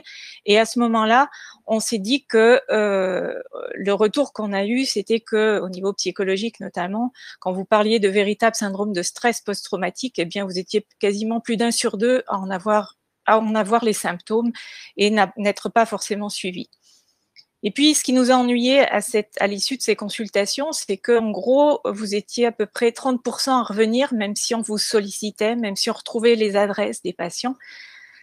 Donc, on s'est dit comment faire pour essayer de mieux approcher ces anciens patients qui ne savent pas forcément qu'ils ont des choses à dépister en termes de, par exemple, protéger ses os, en termes de protéger ses reins. Et donc, on avait plein de conseils à vous donner et on ne vous atteignait pas.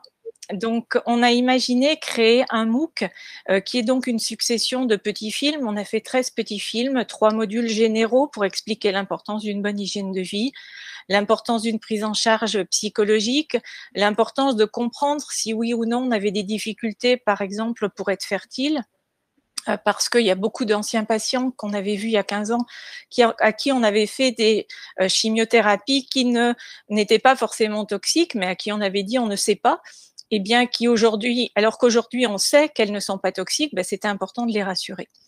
Et donc pour faire euh, tout ce, ce MOOC, on a consulté beaucoup de patients, plus de 25 anciens patients parmi les associations. On a consulté beaucoup d'experts en différents thèmes, hein, que ce soit des médecins, des endocrinologues, des psychologues, des neuropsychologues, euh, et on en a fait justement un MOOC qui pour l'instant a été testé euh, sur à peu près, euh, on a envoyé des courriers à 500 patients et on a eu à, à peu près 20% de participation. Donc il a été testé et donc ce qu'on souhaiterait, c'est que grâce au registre national qui est en France qui est constitué de plus de 5000 anciens patients, on puisse développer ce MOOC de façon personnalisée, c'est-à-dire que pour ça, il faut connaître les traitements que vous avez reçus pour pouvoir vous envoyer à domicile exactement les modules qui vous concernent, parce qu'on ne va pas renvoyer les 12 modules à tout le monde. Et donc, euh, je vais vous montrer le teaser et puis on pourra éventuellement en reparler après, euh, puisque les intervenants qui sont après ont pour certains participé à l'élaboration de ce MOOC, par exemple Jean-Luc Dalle qu'on a vu tout à l'heure, et puis Anne Bergeron.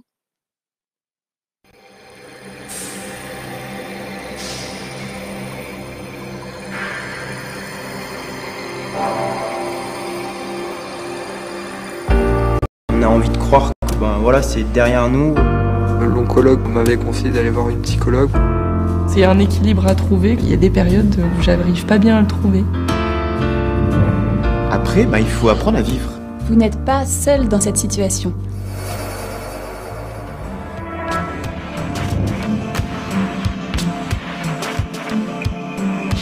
Et je m'interroge sur l'évolution à plus long terme.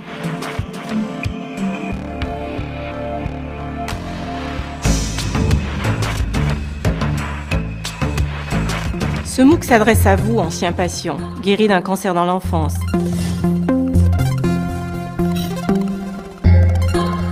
Mais il est également proposé à l'univers médical et paramédical, que ce soit vos médecins traitants ou d'autres professionnels de santé. Vous suivrez un parcours qui correspond à votre ancienne maladie et au traitement que vous avez reçu.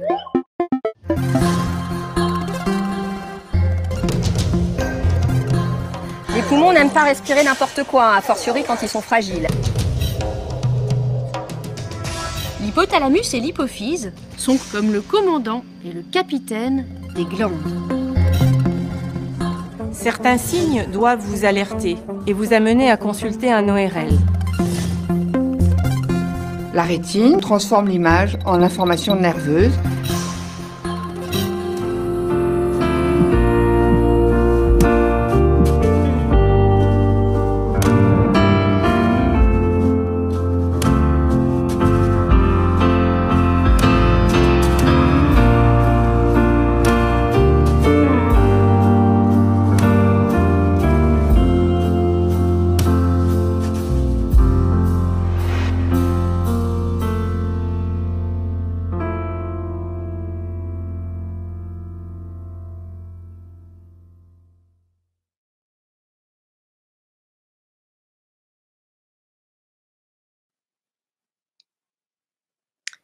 Merci beaucoup. scientifique, c'est ce que tu me disais. Pour Euh, voir un peu l'impact, pour pouvoir mesurer l'impact. Voilà, c'est ça. Donc pour l'instant, ben, on est encore en recherche de fonds pour la deuxième partie de, de l'étude, qui est donc euh, pouvoir savoir si un tel MOOC, puisque ça n'existe pas au niveau international, peut avoir un impact s'il s'adresse directement à des patients qui sont à leur domicile pour les inciter à revenir en consultation de suivi à long terme. euh, quand c'est difficile, ou au moins pour qu'ils prennent contact avec leur médecin généraliste. On imagine que ce MOOC pourrait être visualisé si le patient nous donne le nom de son médecin généraliste par le médecin généraliste lui-même, pour que si celui-ci ne se sent pas capable de faire euh, tout ce par enfin, faire proposer aux patients tout ce, tout ce dépistage, et bien qu'il puisse s'adresser à des médecins spécialistes du suivi à long terme. Et on essaie de, de mettre en place cette discipline et de créer justement une formation pour les médecins généralistes également, pour qu'ils soient capables de pouvoir mettre en œuvre tous ces examens ou de pouvoir, dans la majorité des cas, rassurer euh, ces, ces anciens patients, ce qui est le plus important à mon sens aussi. Merci beaucoup euh, Claire et bravo pour, pour ce MOOC. On, a, on a cité, on a vu passer Anne, Bergeron qui est euh, avec nous, qui est pneumologue euh, et, qui a donc participé. Bonjour Anne, et vous avez donc participé à, à- à ce MOOC? Oui, bonjour. Oui, c'était vraiment une, une idée que je trouve absolument géniale. Alors déjà, merci d'inviter un spécialiste dans, dans, dans ces rendez-vous. et juste pour vous expliquer un petit peu le positionnement qu'on a, qui est un peu, qui est un peu différent, je pense, de, l'ensemble des autres intervenants. Euh, la première chose, euh, comment je suis venue à ça, c'est j'étais interne euh, en hématologie à Saint-Louis il y a déjà un certain temps, puis chef de clinique à Saint-Louis. Et là, je me suis rendu compte qu'il y avait plein de malades d'hématologie qui développaient au décours pendant, mais aussi au, décours et beaucoup au décours de leur traitement hématologique des complications pulmonaires. Et à l'époque, on n'en connaissait pas grand-chose. Il y avait très peu de personnes qui s'y intéressaient dans le monde. Et je trouvais ça extrêmement dommage. Et je pensais qu'on pouvait, à partir bah, des connaissances de spécialité qu'on avait euh, dans d'autres domaines, les appliquer pour pouvoir euh, euh, essayer d'aider dans ce contexte particulier des mathos.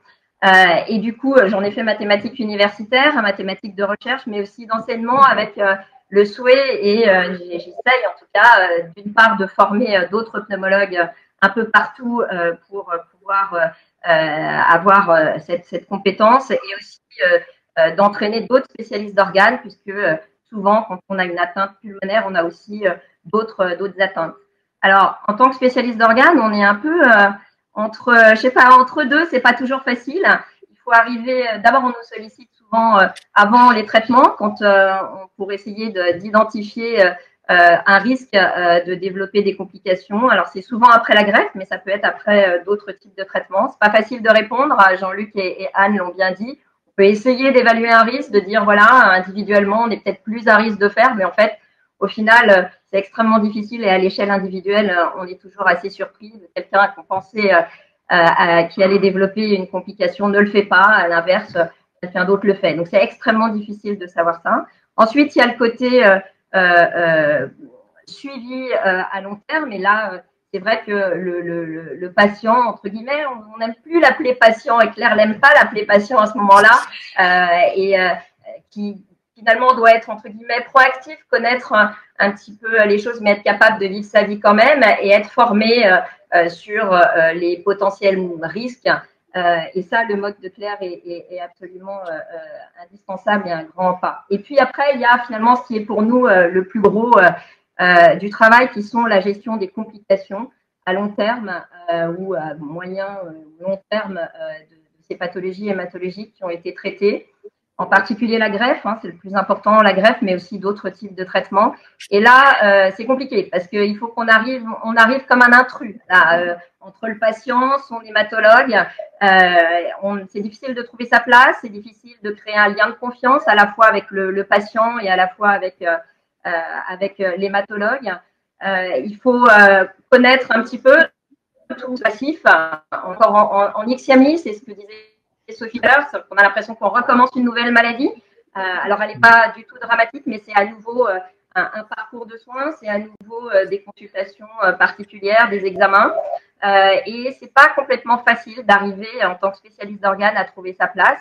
C'est pas facile non plus euh, pour un patient de savoir euh, à quel spécialiste s'adresser. Tout à l'heure, on parlait euh, d'un ophtalmologue, mais c'est vrai que très régulièrement, je, je, je, vois arriver des patients qui ont, entre guillemets, erré à droite, à gauche, avant d'essayer de s'adresser à un spécialiste d'organes qui a, entre guillemets, la compétence. On peut pas, on peut pas en vouloir. C'est facile pour pour quelqu'un comme moi qui travaille dans un centre où, il y a énormément de patients d'hématologie. C'est beaucoup plus difficile pour un, collègue qui euh, a géré tout ce qui est euh, pneumologique, hein, son cœur de métier, et voir arriver un patient euh, qui a une atteinte pulmonaire après une grève de moelle. C'est très compliqué, il n'y a pas la connaissance. Donc, je crois que ça, ça manque. on en a déjà discuté avec Claire plusieurs fois. Ça manque d'avoir un annuaire, d'avoir un, recensement finalement de, spécialistes de recours dans différentes régions en France pour gérer ce, type de pathologie et rassurer les patients, c'est pas toujours grave. Euh, et en tout cas, ce qui est important, c'est euh, de maintenir euh, une qualité de vie importante et la meilleure possible, et puis d'arriver à comprendre surtout le parcours antérieur, ce qui n'est pas complètement facile pour nous. Et c'est quasi une, sur, une surspécialité, effectivement, d'où l'intérêt que les, les, équipes, qui aient un réseau qui puisse effectivement pour pouvoir avoir des gens compétents et, que le patient soit pas dans cette errance un, peu diagnostique. On va passer des poumons, on va descendre. J'oublie personne, hein, on, passera la parole après à Stéphanie Nguyen, mais je voudrais que euh, professeur Blandine Courbière, si elle est avec nous, nous quand je dis qu'on descend, parce que Blandine est gynécologue, on passe des, poumons à une préoccupation bah, qui a été évoquée dans la table ronde juste avant par Clémentine, qui est, euh, Sophie en parlait un petit peu, c'est souvent pour des euh, jeunes femmes euh, bah, c'est une préoccupation majeure. C'est qu'est-ce qui va se passer après? Est-ce que je pourrais être maman? Comment ça va se, se, dérouler? Et c'est un peu votre, bah, c'est votre quotidien, c'est un peu votre spécialité. Donc, dans, dans l'après-maladie, c'est bah, les problèmes de, de fertilité, justement merci, beau. Alors, merci beaucoup et merci à Laurette Fugain pour euh, cette initiative.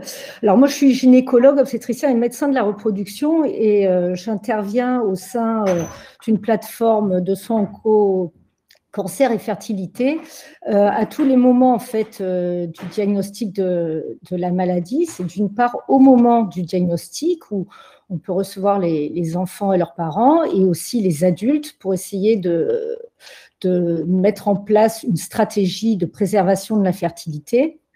Et aussi, on intervient dans l'après, euh, même parfois longtemps après, puisque euh, je suis maintenant les patientes, euh, par exemple, de Gérard Michel, qui sont maintenant devenues adultes et qui sont devenues des femmes, pour, les, pour, les, pour les aider à devenir parents.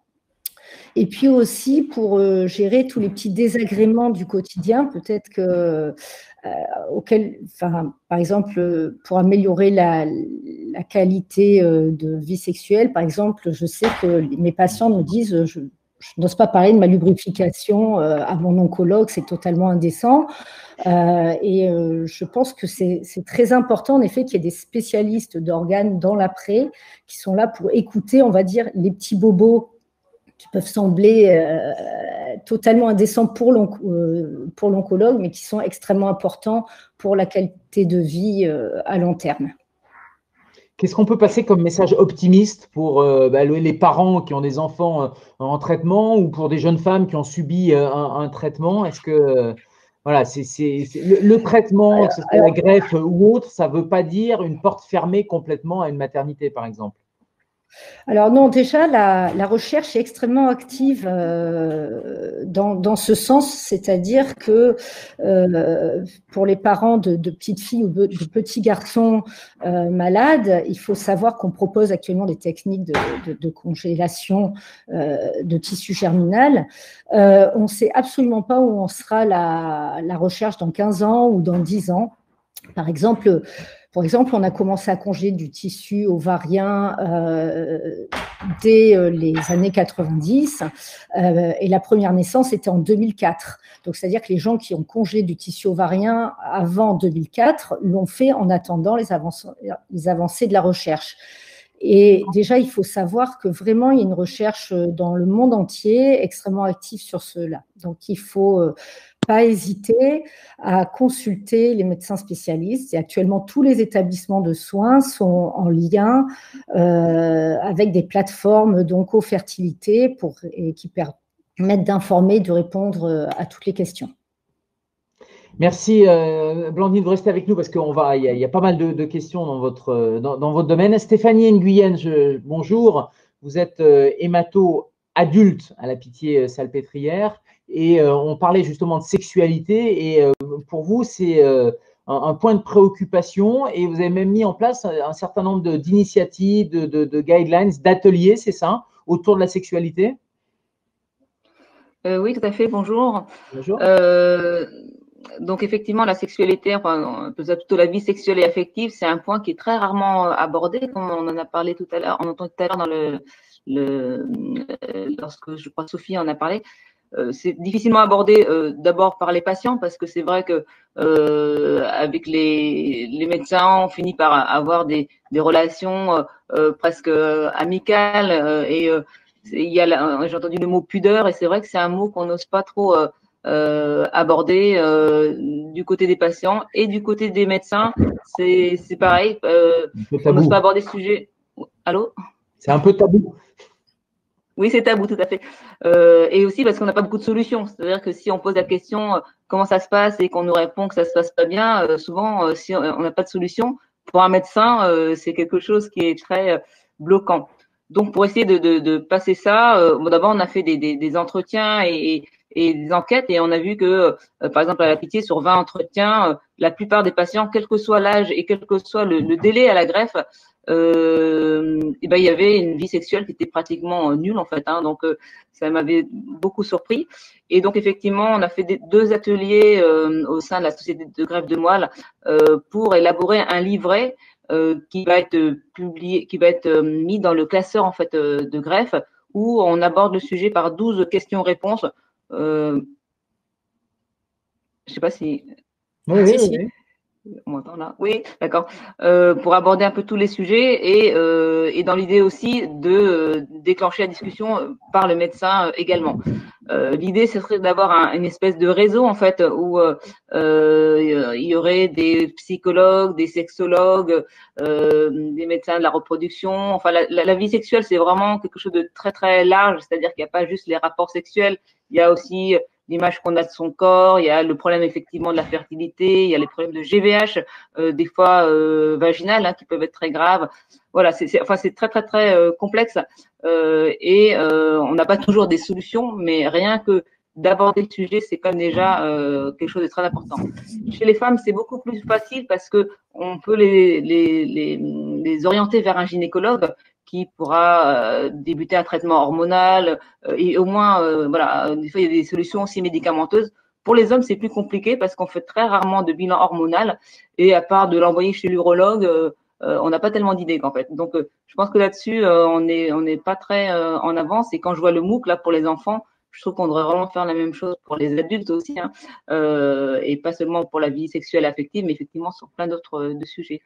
Donc euh, oui, c'est un thème qui est, qui est encore pas mal tabou euh, et des deux côtés, euh, à la fois des, des, patients et à la fois des, des médecins aussi. En, tout cas, c'est quelque chose qui vous préoccupe et sur lesquels il y a, il y a pas mal d'initiatives, puisque maintenant, ça fait partie de la prise en charge en routine. Alors, dans les solutions, il y a le corps, mais il y a aussi, j'allais dire, il y a aussi la partie psychologique qui est extrêmement importante. Et on a avec nous Sébastien Landry, qui est psychosexologue, justement, au, au Mans. Bonjour, Sébastien. Bonjour. Alors vous, c'est votre quotidien justement de prendre en charge, non pas le corps, mais euh, l'image que ou la représentation du corps. Et euh, psychosexologue, euh, dans, dans, votre dans votre activité, vous avez beaucoup de patients qui sortent de d'hématologie, de cancérologie? Oui, bien sûr, on a mis en place au Mans avec la Ligue contre le cancer et la clinique Victor Hugo des consultations qui sont dédiées euh, aux problématiques sexuelles pendant la maladie ou après. Et euh, je reçois effectivement beaucoup de patients, euh, beaucoup plus quand même dans l'après-maladie, parce que pendant les traitements, des fois, il y a d'autres choses à penser que la sexualité, hein, mais c'est quelque chose qui fait partie de la vie et forcément après les traitements, on a envie de retrouver une vie sexuelle plaisante. Et c'est pas toujours si évident que ça parce qu'il y a beaucoup d'effets secondaires. Et la sexualité, c'est un peu compliqué parce qu'il y a C'est à la fois facile et compliqué, mais compliqué parce qu'on n'a pas d'éducation. On n'a vraiment pas d'éducation à la sexualité. Dans les formations, on, on l'aborde très peu au niveau professionnel. Donc, c'est quelque chose qui est assez tabou. En fait, les patients aimeraient que ça vienne du, du des professionnels soignants, hein, qu'on aborde ces problématiques sexuelles. Et moi, je pense dès le début de la maladie, c'est-à-dire de dire, voilà, vous allez avoir des effets secondaires possibles sur votre vie euh, affective, sur votre vie sexuelle. N'hésitez pas à nous en parler, hein, sans forcément aller plus loin. Euh, si on veut juste ouvrir la porte. Mais on a vraiment des problèmes qui vont être dus au traitement, euh, dus au corps qui va aussi changer hein, avec euh, les traitements, la fatigue, les angoisses. tout ça, ça va impacter négativement la sexualité et ça peut durer des, années, voire de très nombreuses années après l'arrêt des traitements. Parce que même s'il y a un problème à la base qui peut être hormonal, physiologique, organique, il y a quand même la tête qui va interférer. Nous, on dit, euh, les sexologues, souvent, on dit que le premier organe sexuel, c'est le cerveau. À partir du moment où on a des incompréhensions, des angoisses qui sont présentes, on, va, on peut rencontrer des difficultés dans sa sexualité. Et puis aussi, ce que j'aimerais mettre en avant, c'est que souvent on dit il y a un avant et un après cancer. Et pourquoi le domaine de la sexualité, ce serait pas pareil? Il y a forcément un avant et un après, il y a une rupture. Donc forcément, on va avoir une sexualité qui va peut-être être différente. Mais, il y a des solutions, c'est-à-dire que les consultations, le fait d'en parler, le fait de, même s'il y a les problèmes physiques d'un côté, la représentation ou l'image ou parfois des propres des, des, blocages qu'on se fait, vos consultations permettent de débloquer justement un certain nombre de situations? Bien sûr, parce qu'en fait, il y a trop de non-dits sur la sexualité. Souvent, ce que, ce que je remarque, c'est que les couples ont une vie sexuelle, mais ils n'en parlent pas. Et quand il y a un problème qui arrive dans la sexualité, eh bien, euh, il y a des non-dits, on ne comprend pas, on ne sait pas pourquoi, qu'est-ce qui se passe. Euh, un homme, par exemple, qui a des dysfonctions érectiles, ce que je déteste, par exemple, quand je reçois une, euh, un courrier d'un médecin qui me met Monsieur Intel est impuissant. Il n'est pas impuissant, il a une dysfonction érectile. C'est le mot impuissance, ça renvoie à tellement de choses chez l'homme.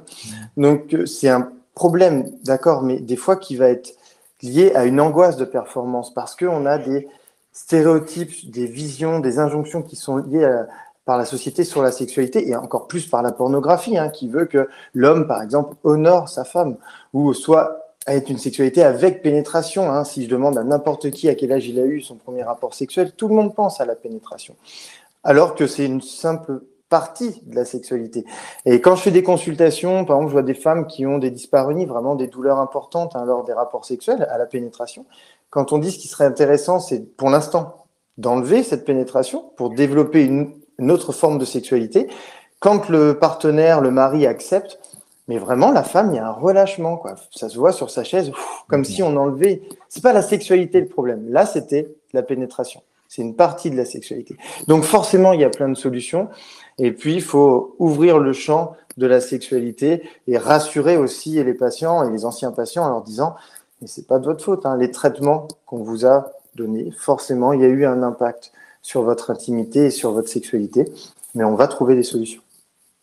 Merci, parce que j'ai un psy, je ne le lâche pas avec, euh, on va prendre les questions d'Assima qui euh, nous demande, je me retrouve petit à petit en tant que femme, j'ai mis énormément de temps à toucher du bout des doigts cette insouciance, comment faire pour laisser les fantômes de la maladie derrière nous? En quelques mots, Sébastien. C'est euh, dans, la, dans la sexualité, j'ai envie de dire un petit peu ce qui, ce qui est ce qu'il faudrait, c'est du lâcher prise, en fait. Il faut essayer de, pouvoir s'épanouir. La, tête, elle n'a rien à faire, en fait, pendant la sexualité. Alors, c'est facile quand je dis ça, hein, comme si on pouvait d'un coup euh, tout enlever, mais ce qu'il faut euh, essayer, c'est de retrouver du plaisir. Je pense que pour vivre, euh, en règle générale, et puis avoir une sexualité épanouissante, c'est de pouvoir retrouver du plaisir. Et souvent, j'aborde avec des, des anciens malades le fait de redécouvrir son propre corps, redécouvrir la façon dont on peut se donner soi-même du plaisir, comment on fonctionne et ce, que l'on a envie en fait, ce qu'on a envie pour nous, pour l'avenir. Et ça, c'est important de redéfinir un petit peu euh, ses priorités, qui on peut être, la, vision que l'on a de, la vie et d'essayer un peu de vivre au maximum et, ne pas hésiter à en parler avec une aide extérieure. Je, prends une question, c'est pas une question, c'est une remarque de Magali qui dit lorsque on se sent enfin bien et qu'on a survécu, les proches décompensent et se permettent enfin à aller mal. Donc d'où l'intérêt là aussi de bah, d'aller en discuter, parfois avec un apport euh, extérieur. Beaucoup de questions sur le MOOC. Claire, où est-ce qu'on peut trouver ce MOOC et peut-il être ouvert aux professionnels de santé? Il y a Yolène qui nous demande et Gilles, par exemple. Alors pour l'instant, il n'est pas ouvert le MOOC. Comme je vous l'ai dit, euh, c'est un, ça va être une étude de recherche, mais on est en train de faire par contre un, un DPC, c'est-à-dire un, un, un, enseignement pour les professionnels qui devrait ouvrir euh, début janvier pour euh, les professionnels. Pour l'instant, c'est les médecins généralistes, mais aussi on vise à l'ouvrir à des infirmières, à des gens qui ont envie de se préoccuper du suivi à long terme. Mais pour les patients, on est obligé d'attendre d'avoir terminé notre étude de recherche et c'est promis, dès qu'on aura eu les financements pour démarrer, euh, plus vite on les aura, plus vite on pourra démarrer, mais c'est compliqué en ces temps de Covid de les avoir. Donc j'entends, c'est le deuxième appel au financement. Hein. tu nous l'as dit déjà tout à l'heure. Beaucoup de questions. La Chantal qui nous dit les médecins traitants reçoivent peu de patients. Et c'est vrai que les médecins traitants, c'est la difficulté du mm. métier de généraliste. Hein. Ils sont généralistes et donc euh, euh, d'avoir des formations. Quelles mesures pourraient-elles être prises pour leur permettre d'anticiper les informations à donner aux patients? Bah, Le MOOC en ferait partie. Je pense vraiment qu'il y a euh, probablement un MOOC B2B, euh, comme on dit, hein, pour, les, professionnels qui serait intéressant. Quelle place pour les parents dans ce suivi après la maladie dans le cadre des leucémies et greffes durant l'enfance? Comment concilier la protection de l'enfant et les réalités sur les conséquences à long terme? C'est Jennifer qui nous demande ça. Qu'est-ce qui pourrait nous répondre? La place des parents, pour moi, c'est de les accompagner, d'accompagner leur enfant, de le laisser mûrir et petit à petit de les, euh, de ne pas forcément l'accompagner en consultation. C'est vrai que pour moi, euh, le fait de, de passer un patient un ancien patient à un secteur adulte, eh bien, je fais le pas quand ils viennent sans leurs parents. Parce que je sais que dans le milieu adulte, il va falloir qu'ils se prennent en charge. Et c'est vrai que c'est important que la, transition, elle se fait pas forcément à 18 ans, elle se fait parfois à 22, à 25. C'est quand on le sent qu'ils sont capables de s'autonomiser. Donc, l'important pour moi, pour les parents, c'est de laisser vivre leur enfant et de le laisser devenir autonome. En tout cas, il y a encore des demandes là sur les outils pour gérer l'après-greffe, etc. Une question pour Blandine. Ma, famille a eu, ma fille a eu une leucémie à l'âge de 14 ans. Euh, est-ce que cela aura une influence sur sa fertilité? Elle a maintenant 20 ans. Va-t-elle pouvoir avoir des enfants? Faut-il penser à congeler ses ovules? Alors, là, il faut absolument que bah, il y a des médecins de la reproduction spécialisés pour euh, évaluer la fonction ovarienne, pour, euh, en fonction du traitement qui a été reçu, pour euh, probablement euh, rassurer cette patiente. enfin, voilà, c'est vrai que maintenant, euh, en 2020, il y a normalement des, dans le parcours de soins des médecins de la reproduction spécialisés pour cela. Donc, il faut absolument que la, la, personne qui a posé cette question demande à son oncologue le centre référent d'oncofertilité avec qui le service d'oncologie travaille avec une consultation de la reproduction. En tout cas, ce qu'on a compris, c'est qu'il y a beaucoup de recherches et il y a beaucoup de, mais c'est même pas des espoirs, c'est de la réalité et que c'est pas euh, une, porte fermée de, de toute façon. Euh, je crois qu'on est arrivé à la fin de cette table ronde. Vraiment, je voudrais remercier tous, les participants. Euh, voilà, on a pris note des nombreuses questions qui, euh, ben, qui on n'a pas pu toutes les poser, bien sûr, et répondre à toutes. L'association va y répondre. Il y a encore des ateliers qui vont se faire de différentes manières. Donc, l'association vraiment a, a, toutes ces questions et vous apportera des réponses. Moi, je voudrais juste prendre la phrase de Loïc en guise de mot de la fin. Loïc qui nous dit le sexe, c'est la vie. Voilà. Et sur cette belle phrase, je voudrais rendre la parole à Stéphanie Fugain. Merci à tous. Merci.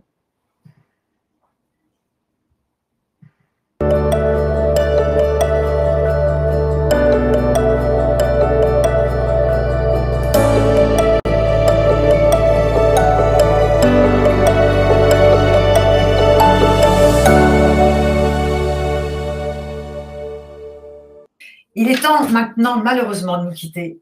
Mais euh, je dois dire que cette matinée a été extrêmement riche, vraiment. Je suis très touchée par, la, par tous ces beaux témoignages, ces explications euh, très abordables qui ont été données par les professionnels de la santé. J'espère que vous tous qui étiez euh, derrière vos ordinateurs très présents, vous étiez très nombreux ce matin, j'espère que vous avez pu trouver des réponses à vos questions, à vos doutes, à vos craintes et surtout à vos espoirs. Vous pourrez retrouver sur le site de l'association cet événement en replay. Également les ateliers dont vous parliez, Gérard, euh, thématiques qui sont l'occasion d'approfondir certains sujets clés et qui devraient se dérouler en live. Malheureusement, euh, ils ont été enregistrés. Ils seront diffusés en podcast dans les semaines qui viennent. Voilà, je souhaite maintenant remercier très sincèrement toute la communauté médicale pour sa présence et sa bienveillance, la qualité des projets de recherche proposés par nos médecins-chercheurs. Quelle chance nous avons d'avoir de si grands professionnels. Vraiment, je suis fière que l'association puisse soutenir cette communauté de médecins et de chercheurs. Tous les témoins qui ont bien voulu partager leur histoire. Je remercie nos fidèles et généreux partenaires engagés en présentiel qui avaient eu à cœur de soutenir cette deuxième édition et que j'espère avoir le plaisir de retrouver l'année prochaine. Également, tous nos fidèles partenaires que vous pourrez retrouver, qui sont cités sur nos pages. Euh, la Maison de la Mutualité euh, et GL Events pour leur soutien indéfectible. Et toute l'association LGCOM qui nous a aidés à piloter et à, et à réaliser l'histoire de cette seconde édition. Il y avait également l'équipe Netkin qui a mis tout en œuvre pour la réalisation de cette édition en streaming et euh, il aura fallu nous adapter en un temps record et nous y sommes arrivés grâce à cette jeune et dynamique équipe. Notre chef d'orchestre, cher Gérald Kierzek, qui a quitté ce matin les urgences médicales pour venir à notre secours. Euh, Damien Dubois pour son expertise médicale et le magnifique travail réalisé avec notre groupe de chercheurs pour que chacun d'entre vous puisse comprendre. Et enfin, je garde le meilleur pour la fin. ma fidèle équipe Laurette Fugain, avec laquelle nous relevons quotidiennement des défis incroyables, parce que notre mission est d'apporter du bonheur et des réponses à celles et ceux qui traversent des tempêtes. Il me reste maintenant à vous donner rendez-vous l'année prochaine pour notre troisième édition des Rendez-vous Lorette.